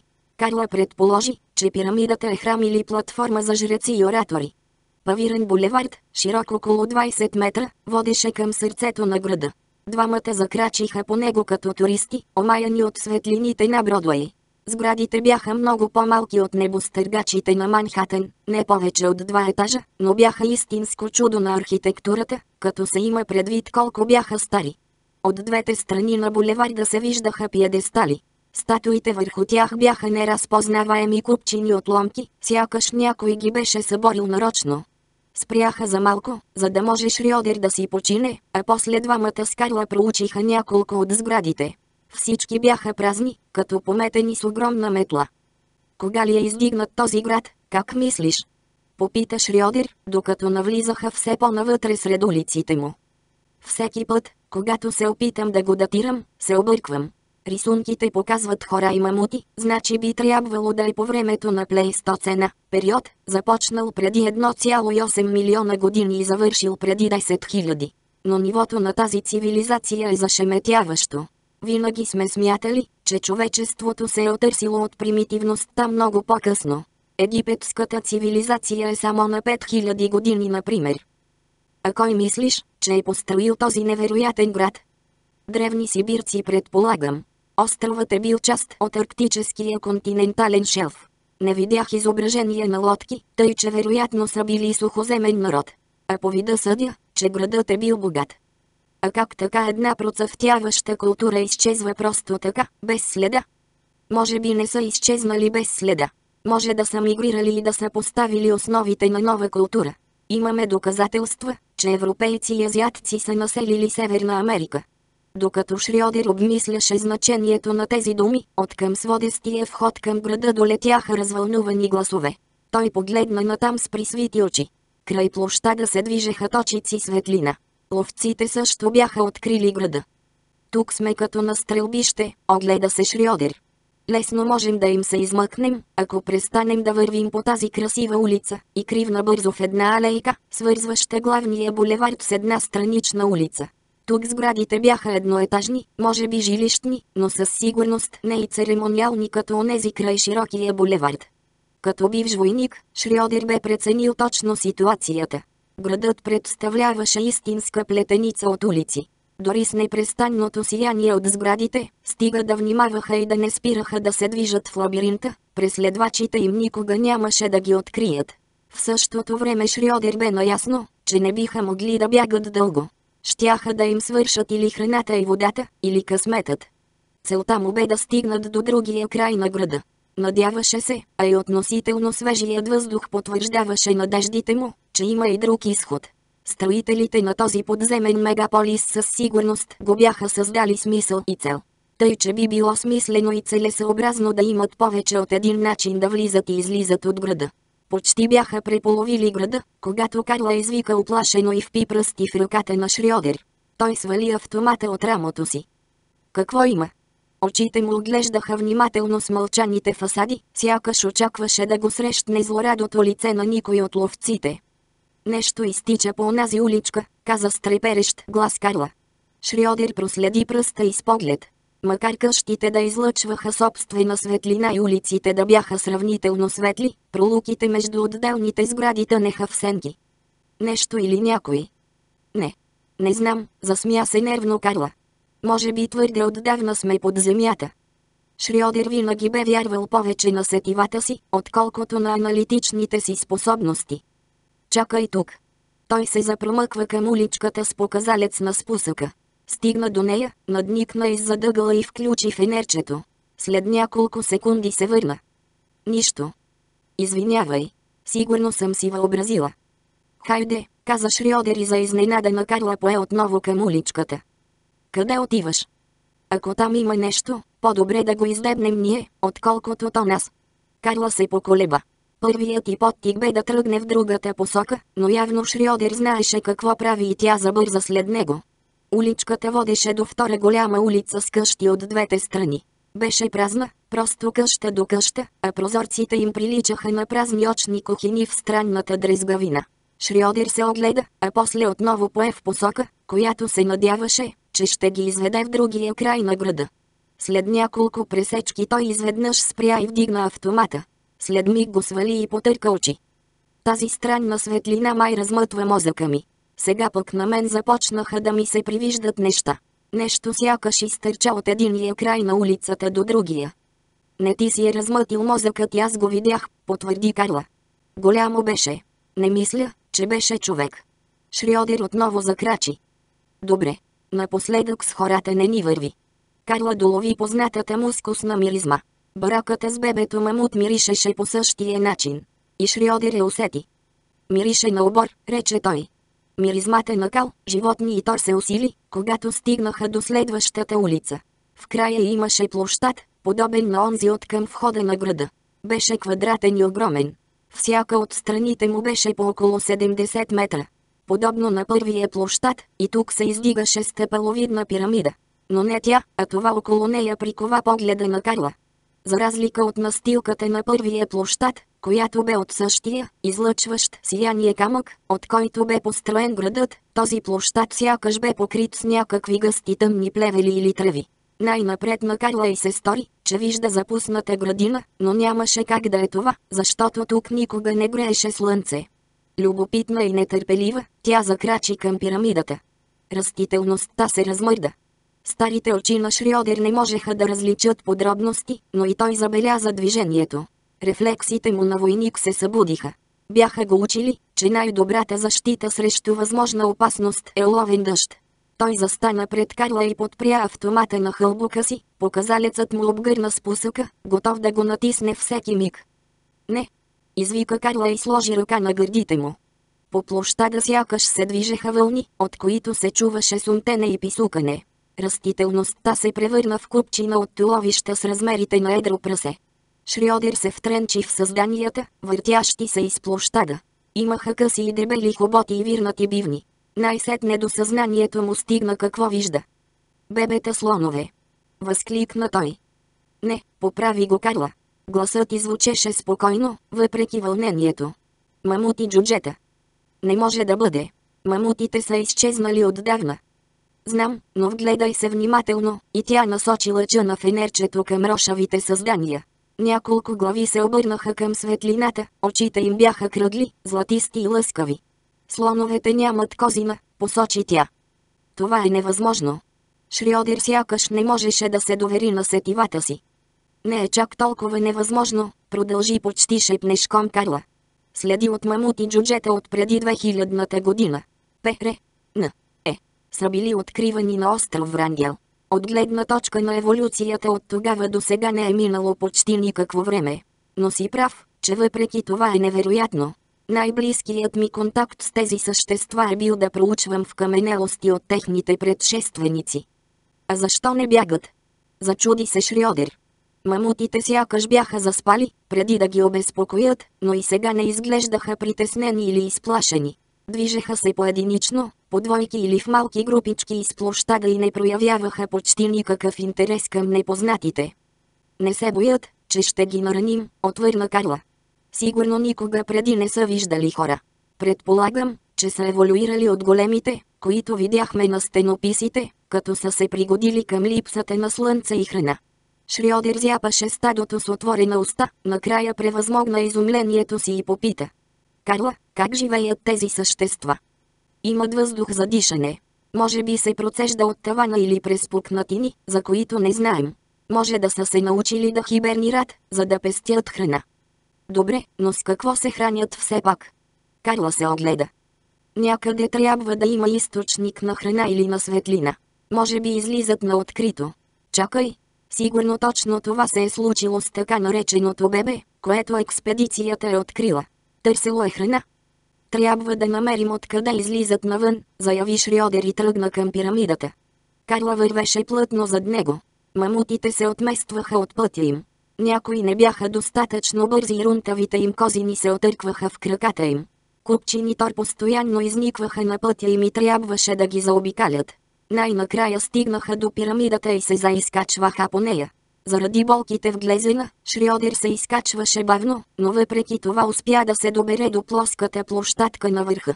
Пред очите им се откри великолепен изглед към целия площад, по който животните все така се суетяха безцелно. Карла ги преброи. Бяха около 200. Шриодер също се взря в животните, но с съвсем друга мисъл на ум. След няколко минути откри каквото търсеше. Виж. Посочи той. Мамутите оформят нещо като колонка в онзи ъгъл. Карла погледна. Доста животни се бяха скупчили в една от улиците. Скоро ги последваха и други и не след дълго цялото стадо се устреми към единия край на площада. С помощта на Карла Шриодер слезе от пирамидата и закоцука след мамутите. Пред очите им площадът се изпразни, а животните се скупчиха в една от тесните улички, водеща към главния булевард. Карла и Шриодер ги последваха, като се опитваха да не ги смущават. Мамутите обаче сякаш ги бяха приели като част от стадото и изобщо не им обръщаха внимание. Заедно с животните пъплеха по край редици от къщи. Но тези тук бяха различни. На някои стените им бяха разрушени сякаш ги беше бутел булдозер. Полуразрушените къщи зачестиха. Накрая се озоваха на място, което приличаше на бомбардирано. Нямаше нито една оцеляла сграда, само светещи отломки, а сред тях огромни, тъмни скални късове. Гледката събуди неприятни спомени у Шрьодер. Поспря, за да му отпочине глезенът, и се загледа в разрухата, която го заобикаляше. Напомня ми на Берлин в края на Втората световна война, каза тихичко той. Ела, да побързаме, иначе ще изгубим мамутите. Карла заобиколи купчина тор. Мисля, че няма защо да се тревожим, оставят достатъчно ясни следи. Дълбокият смях на Шрьодер отекна след отломките. Карла не можа да се въздържи и също се разсмя, въпреки умората и страховете си. Ускориха крачка, по-скоро нетърпеливи да се измъкнат, отколкото да не изостанат от стадото. Скалите край тях се променяха. Светещите минерали намаляваха и накрая съвсем изчезнаха. Обгърна ги тъмнина. Карла включи фенерчето и слабият му лъч улови опашките на мамутите. Явно животните нямаха проблем да се ориентират в мрака. Навярно очите им се бяха пригодили, така както бяха намалели размерите им. Внезапно фенерчето угасна. Карла и Шриодер нямаха друг избор, освен да следват стадото по шума, който издаваше топуркането на множество крака, многогласното сумтене и грухтене. Скоро мракът се поразреди, а след това се превърна в тъмно сив сумрак. Вече виждаха задниците на мамутите на 20 на метра пред себе си. Животните сякаш също бързаха. Сивотата отстъпи пред истинска светлина, проходът зави първо надясно, а после наляво и Карла и Шриодер се озоваха навън с мигащи на слънцето очи. Мамутите продължиха напред, но двамата спряха и се огледаха. Бяха излезли през процеп в отвесна скала и се намираха в края на долчинка, широка около стотина метра. Мамутите се заеха да пасат ниската тревиста растителност из долчинката. Просто невероятно. Промълви Карла. Пригодили са се към два свята, тъмен и светъл. Те са чудо на еволюцията. Да, много интересно промърмори Шриодер без особен интерес. Не бе груб, просто бе практичен. Знаеше, че още не са в безопасност и че вероятно преследвачите са по петите им. Огледа скалната стена. Тя не беше монолитна, а по-скоро беше струпване от скални късове. Единственият им шанс беше да намерят пъти да се изкачат на върха на скалната стена. Карла неохотно се отдалечи от стадото и се заискачва заедно с Шриодер по струпаните скални късове. Някои от тях бяха големи колкото автомобили, други – колкото къщи. Някои се издигаха на повече от 30 метра височина. Част от скалните късове така бяха притиснати един в друг, че и нощ не би могъл да се плъзне между тях. Докато се прокрадваха по скалната грамада, Карла се обезкуражи. Бяха се измъкнали от една опасност, само за да се окажат в още по-голяма. Имаше чувството не само, че няма да успеят да намерят път към върха, но и че ще се окажат в капан, приклещени от скалните късове в този безкрайен лабиринт, без да могат да се върнат там, откъдето бяха тръгнали. Шриодер обаче бе живнал от свежия въздух. Без да обръща внимание на болката в глезена, той пъргаво се катереше по скалите или се мушкаше в процепите между тях, търсейки път. След едно от поредните му скривания в една цепнатина, отвътре се чу победоносния му вик. Шриодер се показа и заяви, че е открил път през скалите. Сграбчи Карла за ръката, все едно водеше дете и я поведе сред монолитите. Не бяха направили и няколко крачки обаче, когато иззад една канора се показа мъж. Гриша, предводителят на ловците. 31. Остин оглеждаше внимателно за иналия кратер, докато параглайдерът се издигаше като кондор над вулкана. Пътеката, който следяха от високо ги отведе първо нагоре до ръба на кратера, а след това се спусна вътре в самия кратер, стигна до средата му и свърши в ниска отвесна скала. От срещната страна на кратера бе почти вертикална и се спускаше стръмно към пространство, осеяно с канари. В подножието на склона се виждаше тревиста долчинка, вдлъбната като купа. От едната страна я притискаше стената на кратера, а от другата полето с канарите. Остин бавно описа спирала, като се оглеждаше за място, подходящо за кацане. Какво е онова там? Завала сочеше подножието на склона, където свършваше пътят. Прилича на стадо крави. Остин примижа и се вгледа на там, където сочеше приятелят му. Твърде са космати за крави. Може да са якове. Добре ще ми дойде нещо яко след всичко, което преживяхме. Остин нямаше време да се заяде за ужасния каламбур на приятеля си, защото завала му посочи друга част от зелената ливада. Подяволите! Възкликна Остин. Хора! Неколци на души стояха в края на полето с канарите. Докато параглайдерът се спускаше, Остин видя, че един от хората бутна и събори на земята друг. Трети се спусна на помощ на падналия, но останалите грубо го изблъскаха. Параглайдерът бе достатъчно ниско, за да видят, че всъщност единият човек е руса жена. Мисля, че току-що открихме Карла Януш. Гриша се усмихваше широко, като показваше развалените си зъби. Викна нещо на руски и хората му се показаха иззад скалите. Шриодер бързо се ориентира в ситуацията. Явно докато двамата с Карла бяха лъкатушили през града. Гриша и хората са вървели по централния булевард и са попаднали на изхода. Гриша направи знак на двамата си пленници да се върнат там, откъдето бяха дошли. Още щом излязоха на открито, Гриша забеляза вълнистите мамути. Тия пък какви са? Овце? Не, пеперуди.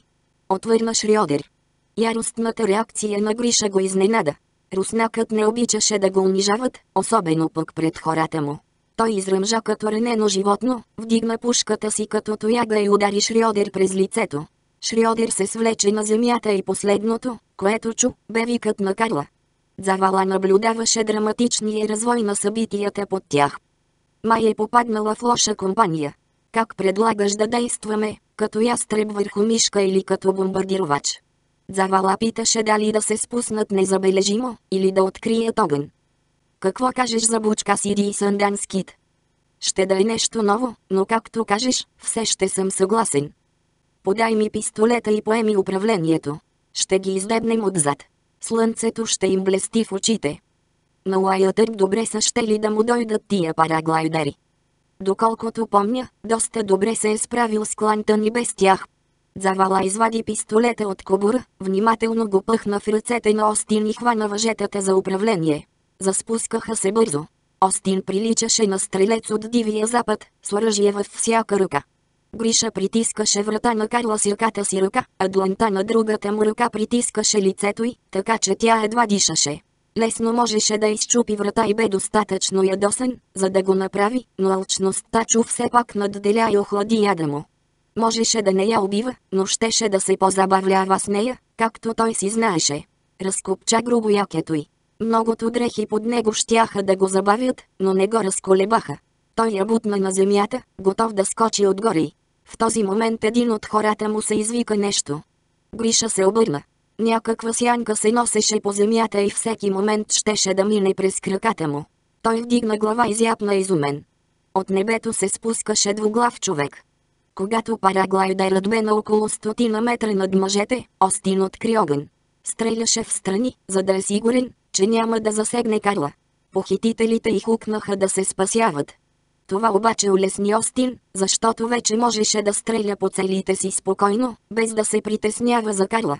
Но тъй като и той се движеше, прицелът му не беше особено точен. Завала му викна да се готви за приземяване. Кърт прибра единия пистолет в кобура, а другия пъхна в колана. Опитаха се да се приземят на крака, но се спускаха твърде бързо и затова залитнаха напред и се озоваха на земята на четири крака. За тяхна радост тревата омекоти удара. Бързо слязоха от параглайдера и докато завала намотаваше въжетата около платното, Остин хукна към жената, която беше приклекнала до ранен възрастен мъж. Госпожица Януш. Тя вдигна глава. Кой сте вие? Кърт Остин. Приятелят ми Джо аз ви търсихме. Добре ли сте? Да, добре съм, но Чичо ми има нужда от помощ. Остин извади аптечна. Мъжът бе в съзнание, лежеше неподвижно по гръб с отворени очи. Бе някъде между 65 и 75 годишен, но трудно можеше да се определи точната му възраст. Издълженото му лице бе обляно в кръв от раните по бузата и челото. Остин приклекна до него, почисти раните и ги дезинфекцира. Грижите му очевидно причиняваха болка на мъжа, но той дори не трепна. Арктически силните му очи следяха внимателно всяко движение на Остин. Едва що Остин бе почистил раните, когато мъжът рече. Достатъчно. Помогнете ми да стана. Подпря се на Остин и се изправи. Главата му штръкна поне на десетина сантиметра над Кърт, макар самият Кърт никак да не бе нисък с своите метъри 80. Карла прегърна Чичо си през кръста. Добре ли си? Жила в стар гущер съм аз, но за теб се тревожа. Добре съм, Чичо, благодарение на тези двама мъже.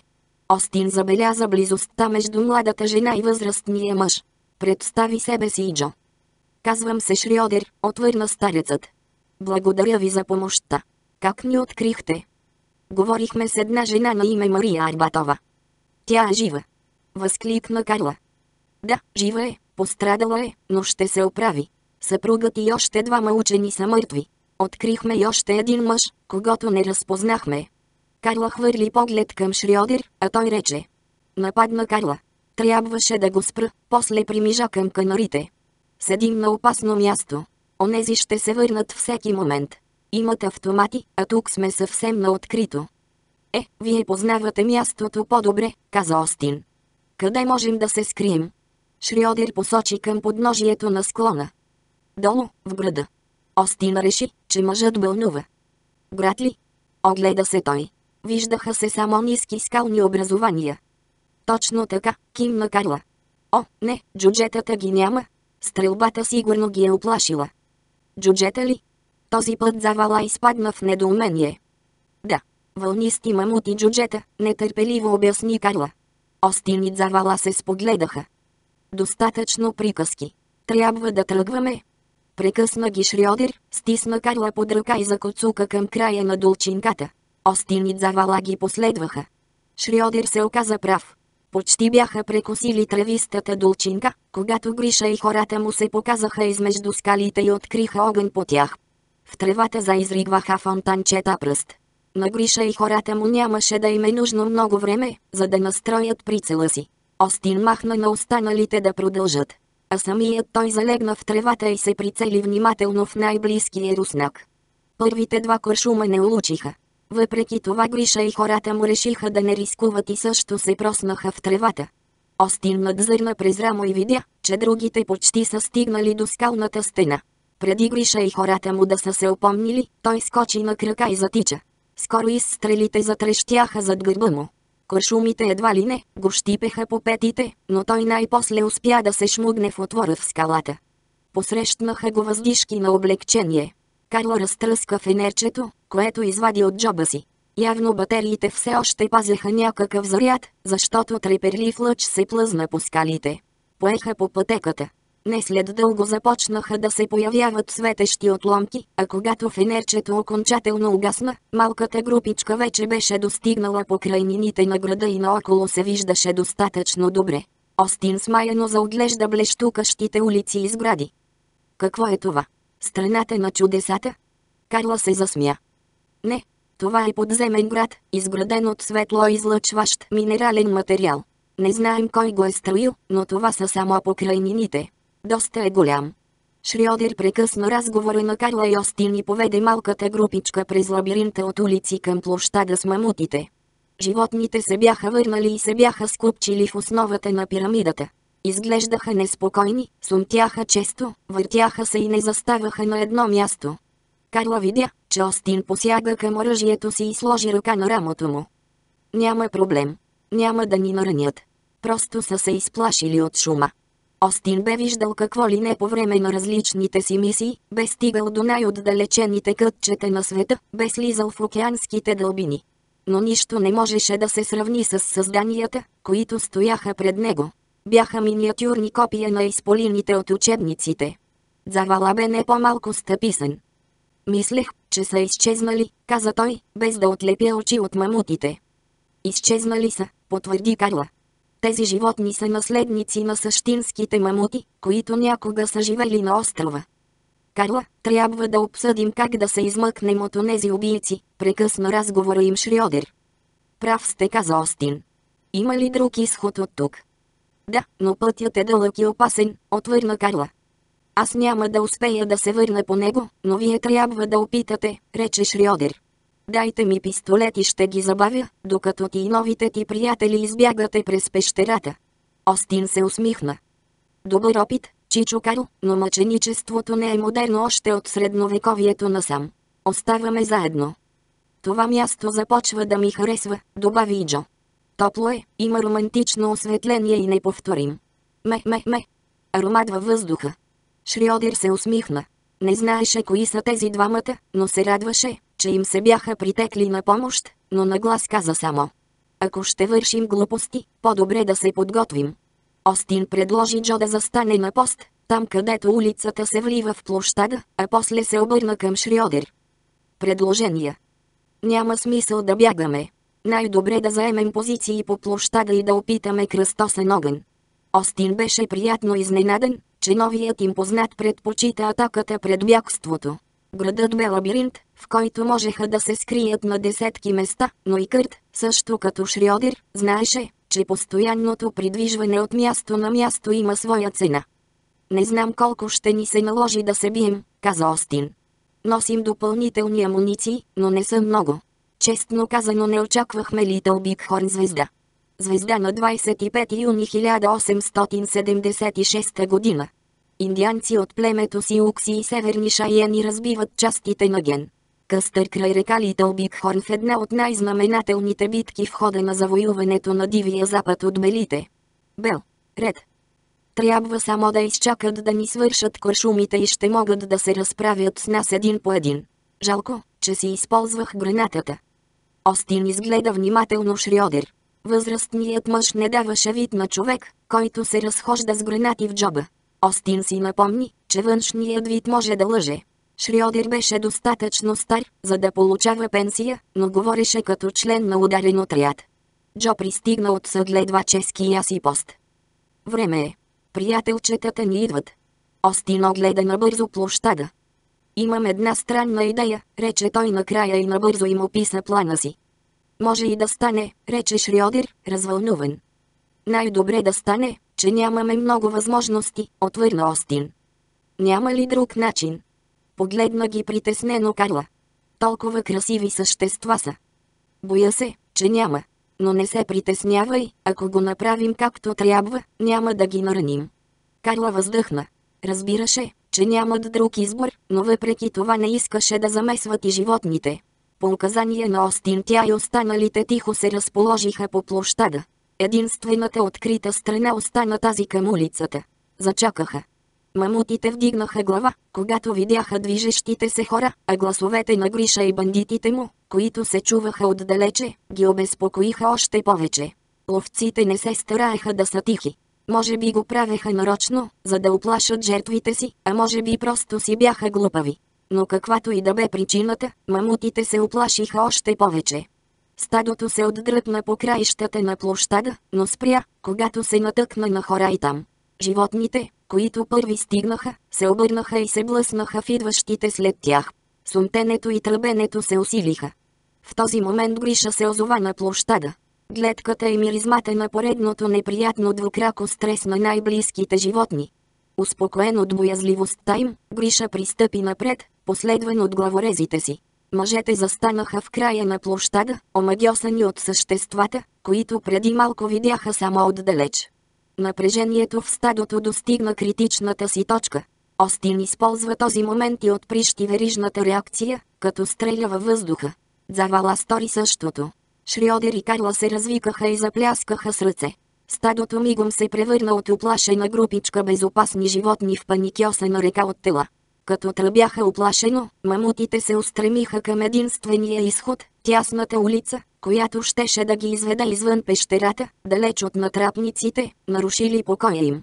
За нещастие на Гриша, той и хората му се намираха между стадото и целта му. Руснаците вдигнаха автоматите си, но стадото бе на няколко крачки от тях. Мъжете се обърнат и затичаха, но стадото ги помета и прегази. Само Гриша още успяваше да тича пред побеснелите животни. Очите му шареха ужасено в търсене на изход, но в този момент се подхлъзна и попадна под прииждащата вълна от плът.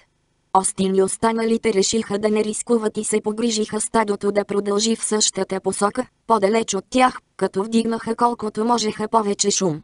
След няколко секунди всичко приключи. Площадът беше празен. Грохотът на стадото заглъхваше в далечината. Остин и Завала внимателно се приближиха към улицата. На известно разстояние една от друга имаше няколко окървавени купчини дрехи, доскоро живи хора. Откриха здраво фенерче, а Остин се провикна към Шриодер и Карла, че могат да излязат. Не приличат на хора, рече безучастно Карла, когато видя труповете на бандитите. Остин си спомни мъртвите учени в дерето. Едва ли някога са били. Шриодер се засмя дълбоко. Отдавна знам, че в подходящите ръце всичко е оръжие, но в учебниците нищо не пишеше за космати слончета. Остин се зачуди за кои учебници говори Шриодер и какво ли училище е завършил, но изтласка тези мисли на заден план, защото още не бяха в безопасност. Излязоха от града.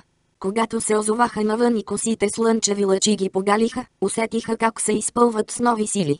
Отидоха при параглайдера и откриха, че Гриша и хората му са разбили захранването и са нарязали крилото. С части от алуминиевите тръби и парчета от найлона направиха груба шина за Шриодер. Отправиха се към ръба на кратера. Пътят правеше широки зигзагообразни завой, така беше по-удобен и полегат, но и много по-дълъг. Често спираха заради Шриодер, но той ги увещаваше почивките да не продължават повече от няколко минути. Няколко часа по-късно стояха на ръба на кратера и се взираха надолу по външния склон на вулкана. По-голяма част от острова тънеше в мъгла.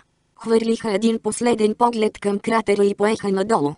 Спускането бе също толкова трудно, колкото и изкачването. Пътят приличаше на козя пътечка, цялата в камъни и канари, които дори при идеални условия биха затруднили ходенето. Бяха минали около две трети от пътя, когато установиха, че не са сами. Към тях се изкачваха хора, все още дребни като мравки в далечината. Групата на Остин продължи пътя си. Така или иначе ги бяха видели, нямаше смисъл да се крият, но извадиха оръжията си готови за стрелба. Остин преброи шестима души. Когато разстоянието между двете групи намаля, водачът на новодошлите вдигна ръка. В този момент Остин го разпозна, Петров. Заедно с него бяха специалният му отряд, както и Вероника и съпругати. Петров пробяга последните метри. Добра среща, Остин. Изповтя той, широко ухилен. Джо сте добавили и планинарството към многобройните си постижения. Не спирате да ме изумявате. После се обърна към Карла. А това ще да е мадмоазел Януш. Много се радвам да се запознаем.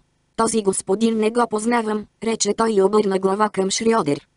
Аз съм просто един старец, който би трябвало да си е в креслото у дома, отвърна Шриодер с уморена усмивка. Как ни открихте? Попита Кърт. Говорихме с капитана на ледоразбивача. Каза, че сте отлетели с някакво приспособление към вулкана. Имахме параглайдер. О, сега си спомням. Твърдите ви? Остин кимна. Пропусна цялата забава. Нищо подобно, рече Ведро Петров. Много се позабавлявахме.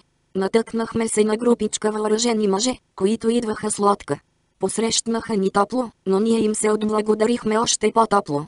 Оцелелият каза, че са дошли да помогнат на някакви си, които вече били тук, и надникна през рамото на Остин, сякаш очакваше да види зад гърба му да се задават преследвачи. Тези някакви вече не са тук, отвърна Шриодер. Да, бяха стъпкани от стадо вълнисти мамути, обясни Кърт. Мамути джуджета, поправи го завала. Петров поклати глава. От години изучавам американската култура, но така и не ви разбрах хумора. Няма проблем. Дори ние не си го разбираме.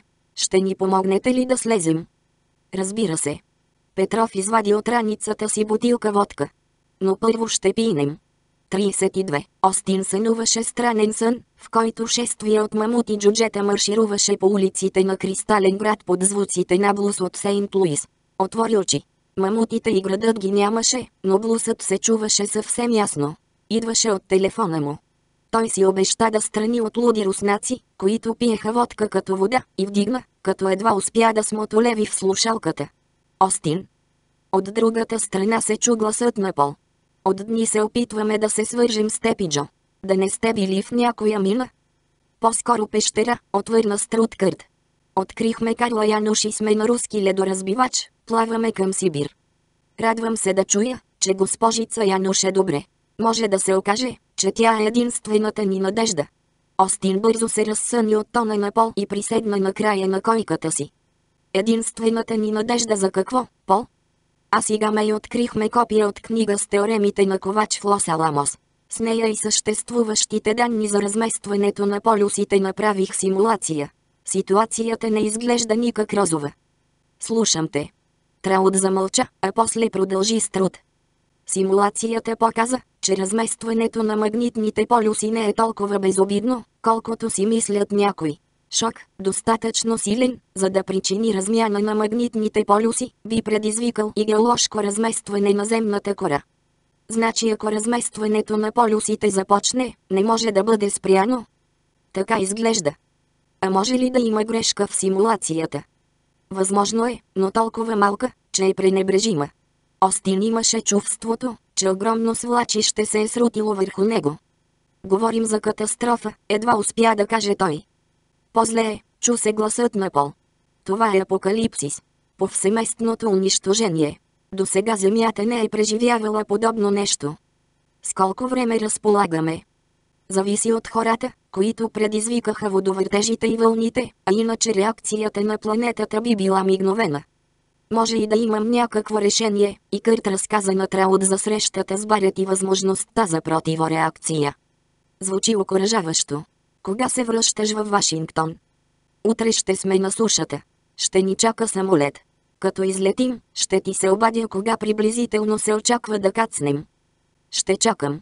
Остин затвори и без да пали осветлението в каютата се заслуша в ръмженето на двигателите. Ядосваше се от бавното мореплаване. И през не му мина, че проблемът може да е толкова спешен, когато капитан Иванов го покани да се върне с кораба.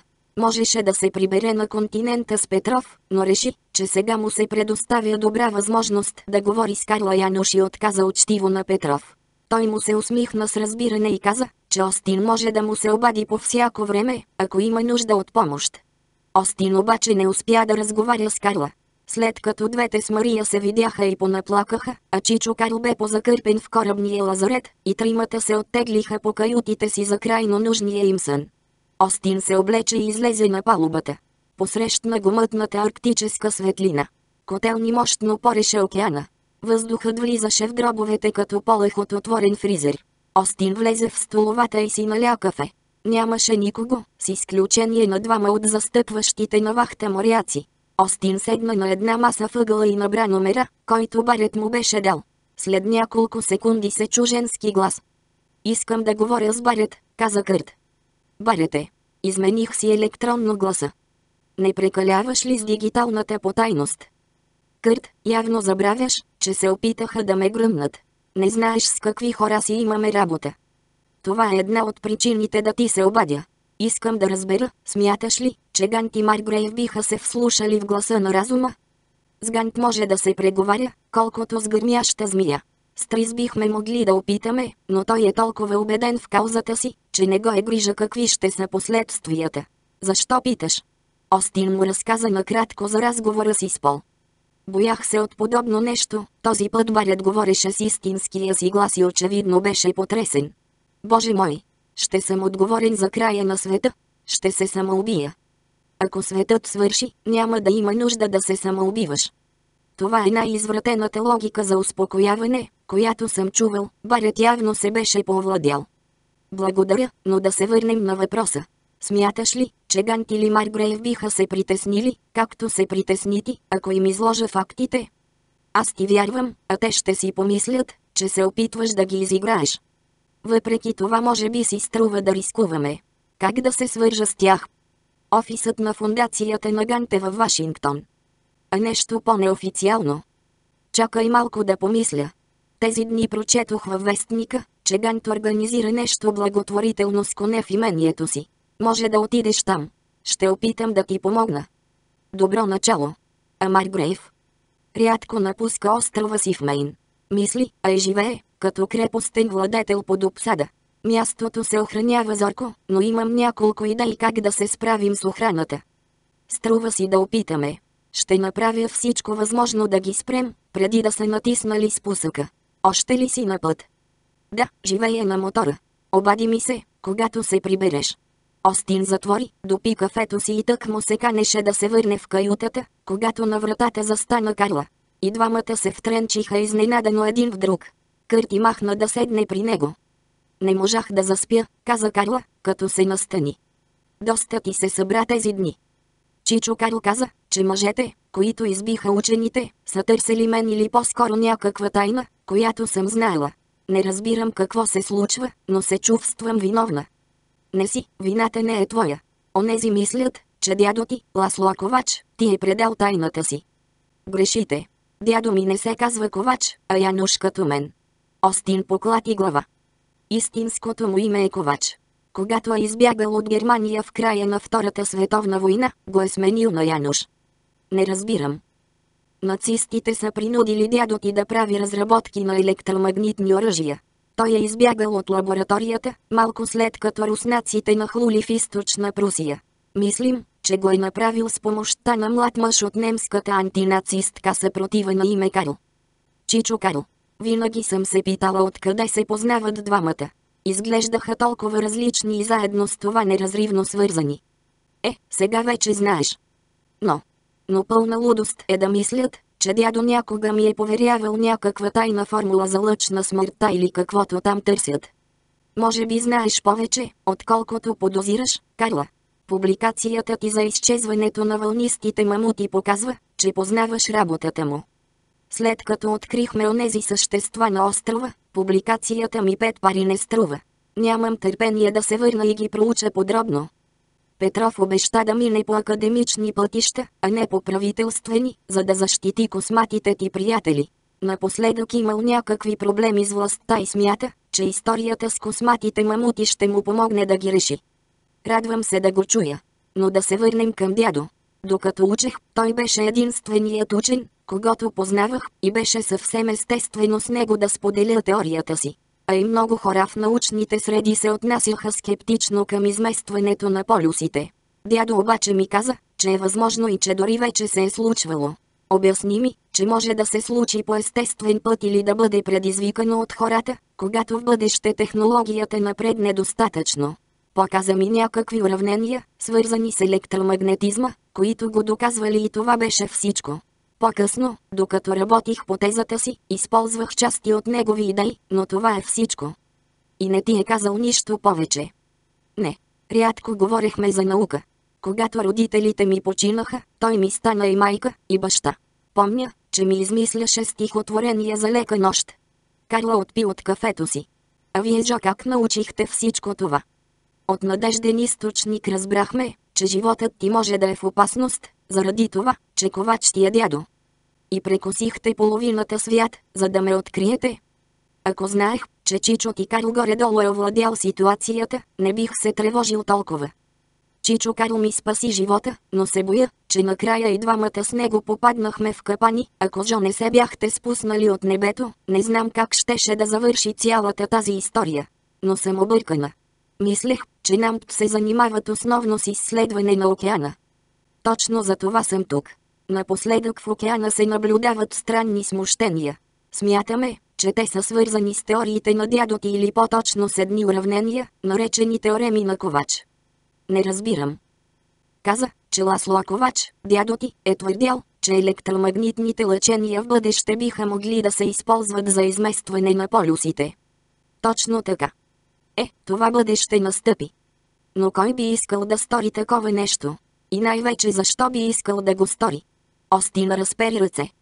Не съм сигурен. Когато се върнем във Вашингтон бих искал да поговориш с един човек. Може двамата с него да успеете да изясните нещата. Надявах се първо да спрем в Фейрбанкс. Боя се, че нямаме време за това. Бъдещето на целия свят е заложено на карта. Разбирам, кимна Карла. Дори да не съм пряко отговорна за случващото се, семейството ми е свързано него и за това ще направя всичко възможно, за да помогна. Бях сигурен, че можем да разчитаме на теб. Утре ще стъпим на твърда земя и самолет на Нампт ще ни отведе във Вашингтон.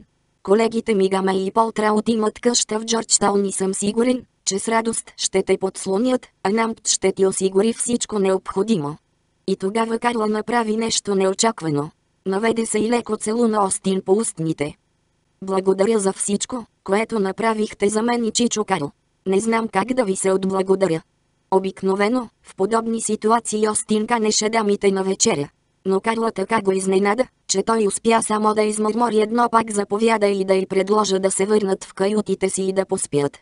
Тя отвърна, че ще поостане още малко в кают компанията и че ще се видят сутринта. Пожелаха си лека нощ и официално си стиснаха ръцете. Преди да прекрачи прага на кают компанията Остин хвърли поглед през рамо. Карла седеше дълбоко замислена на масата, подпряла глава на ръцете си, а погледът и се рееше някъде навън. Въпреки всичките си занимания с философия, Остин не можеше да отговори на въпроса как се направляват пътищата на съдбата. Боговете сигурно си умираха от смях в момента. Тайната за спасението на света бе заключена в главата на красива млада жена.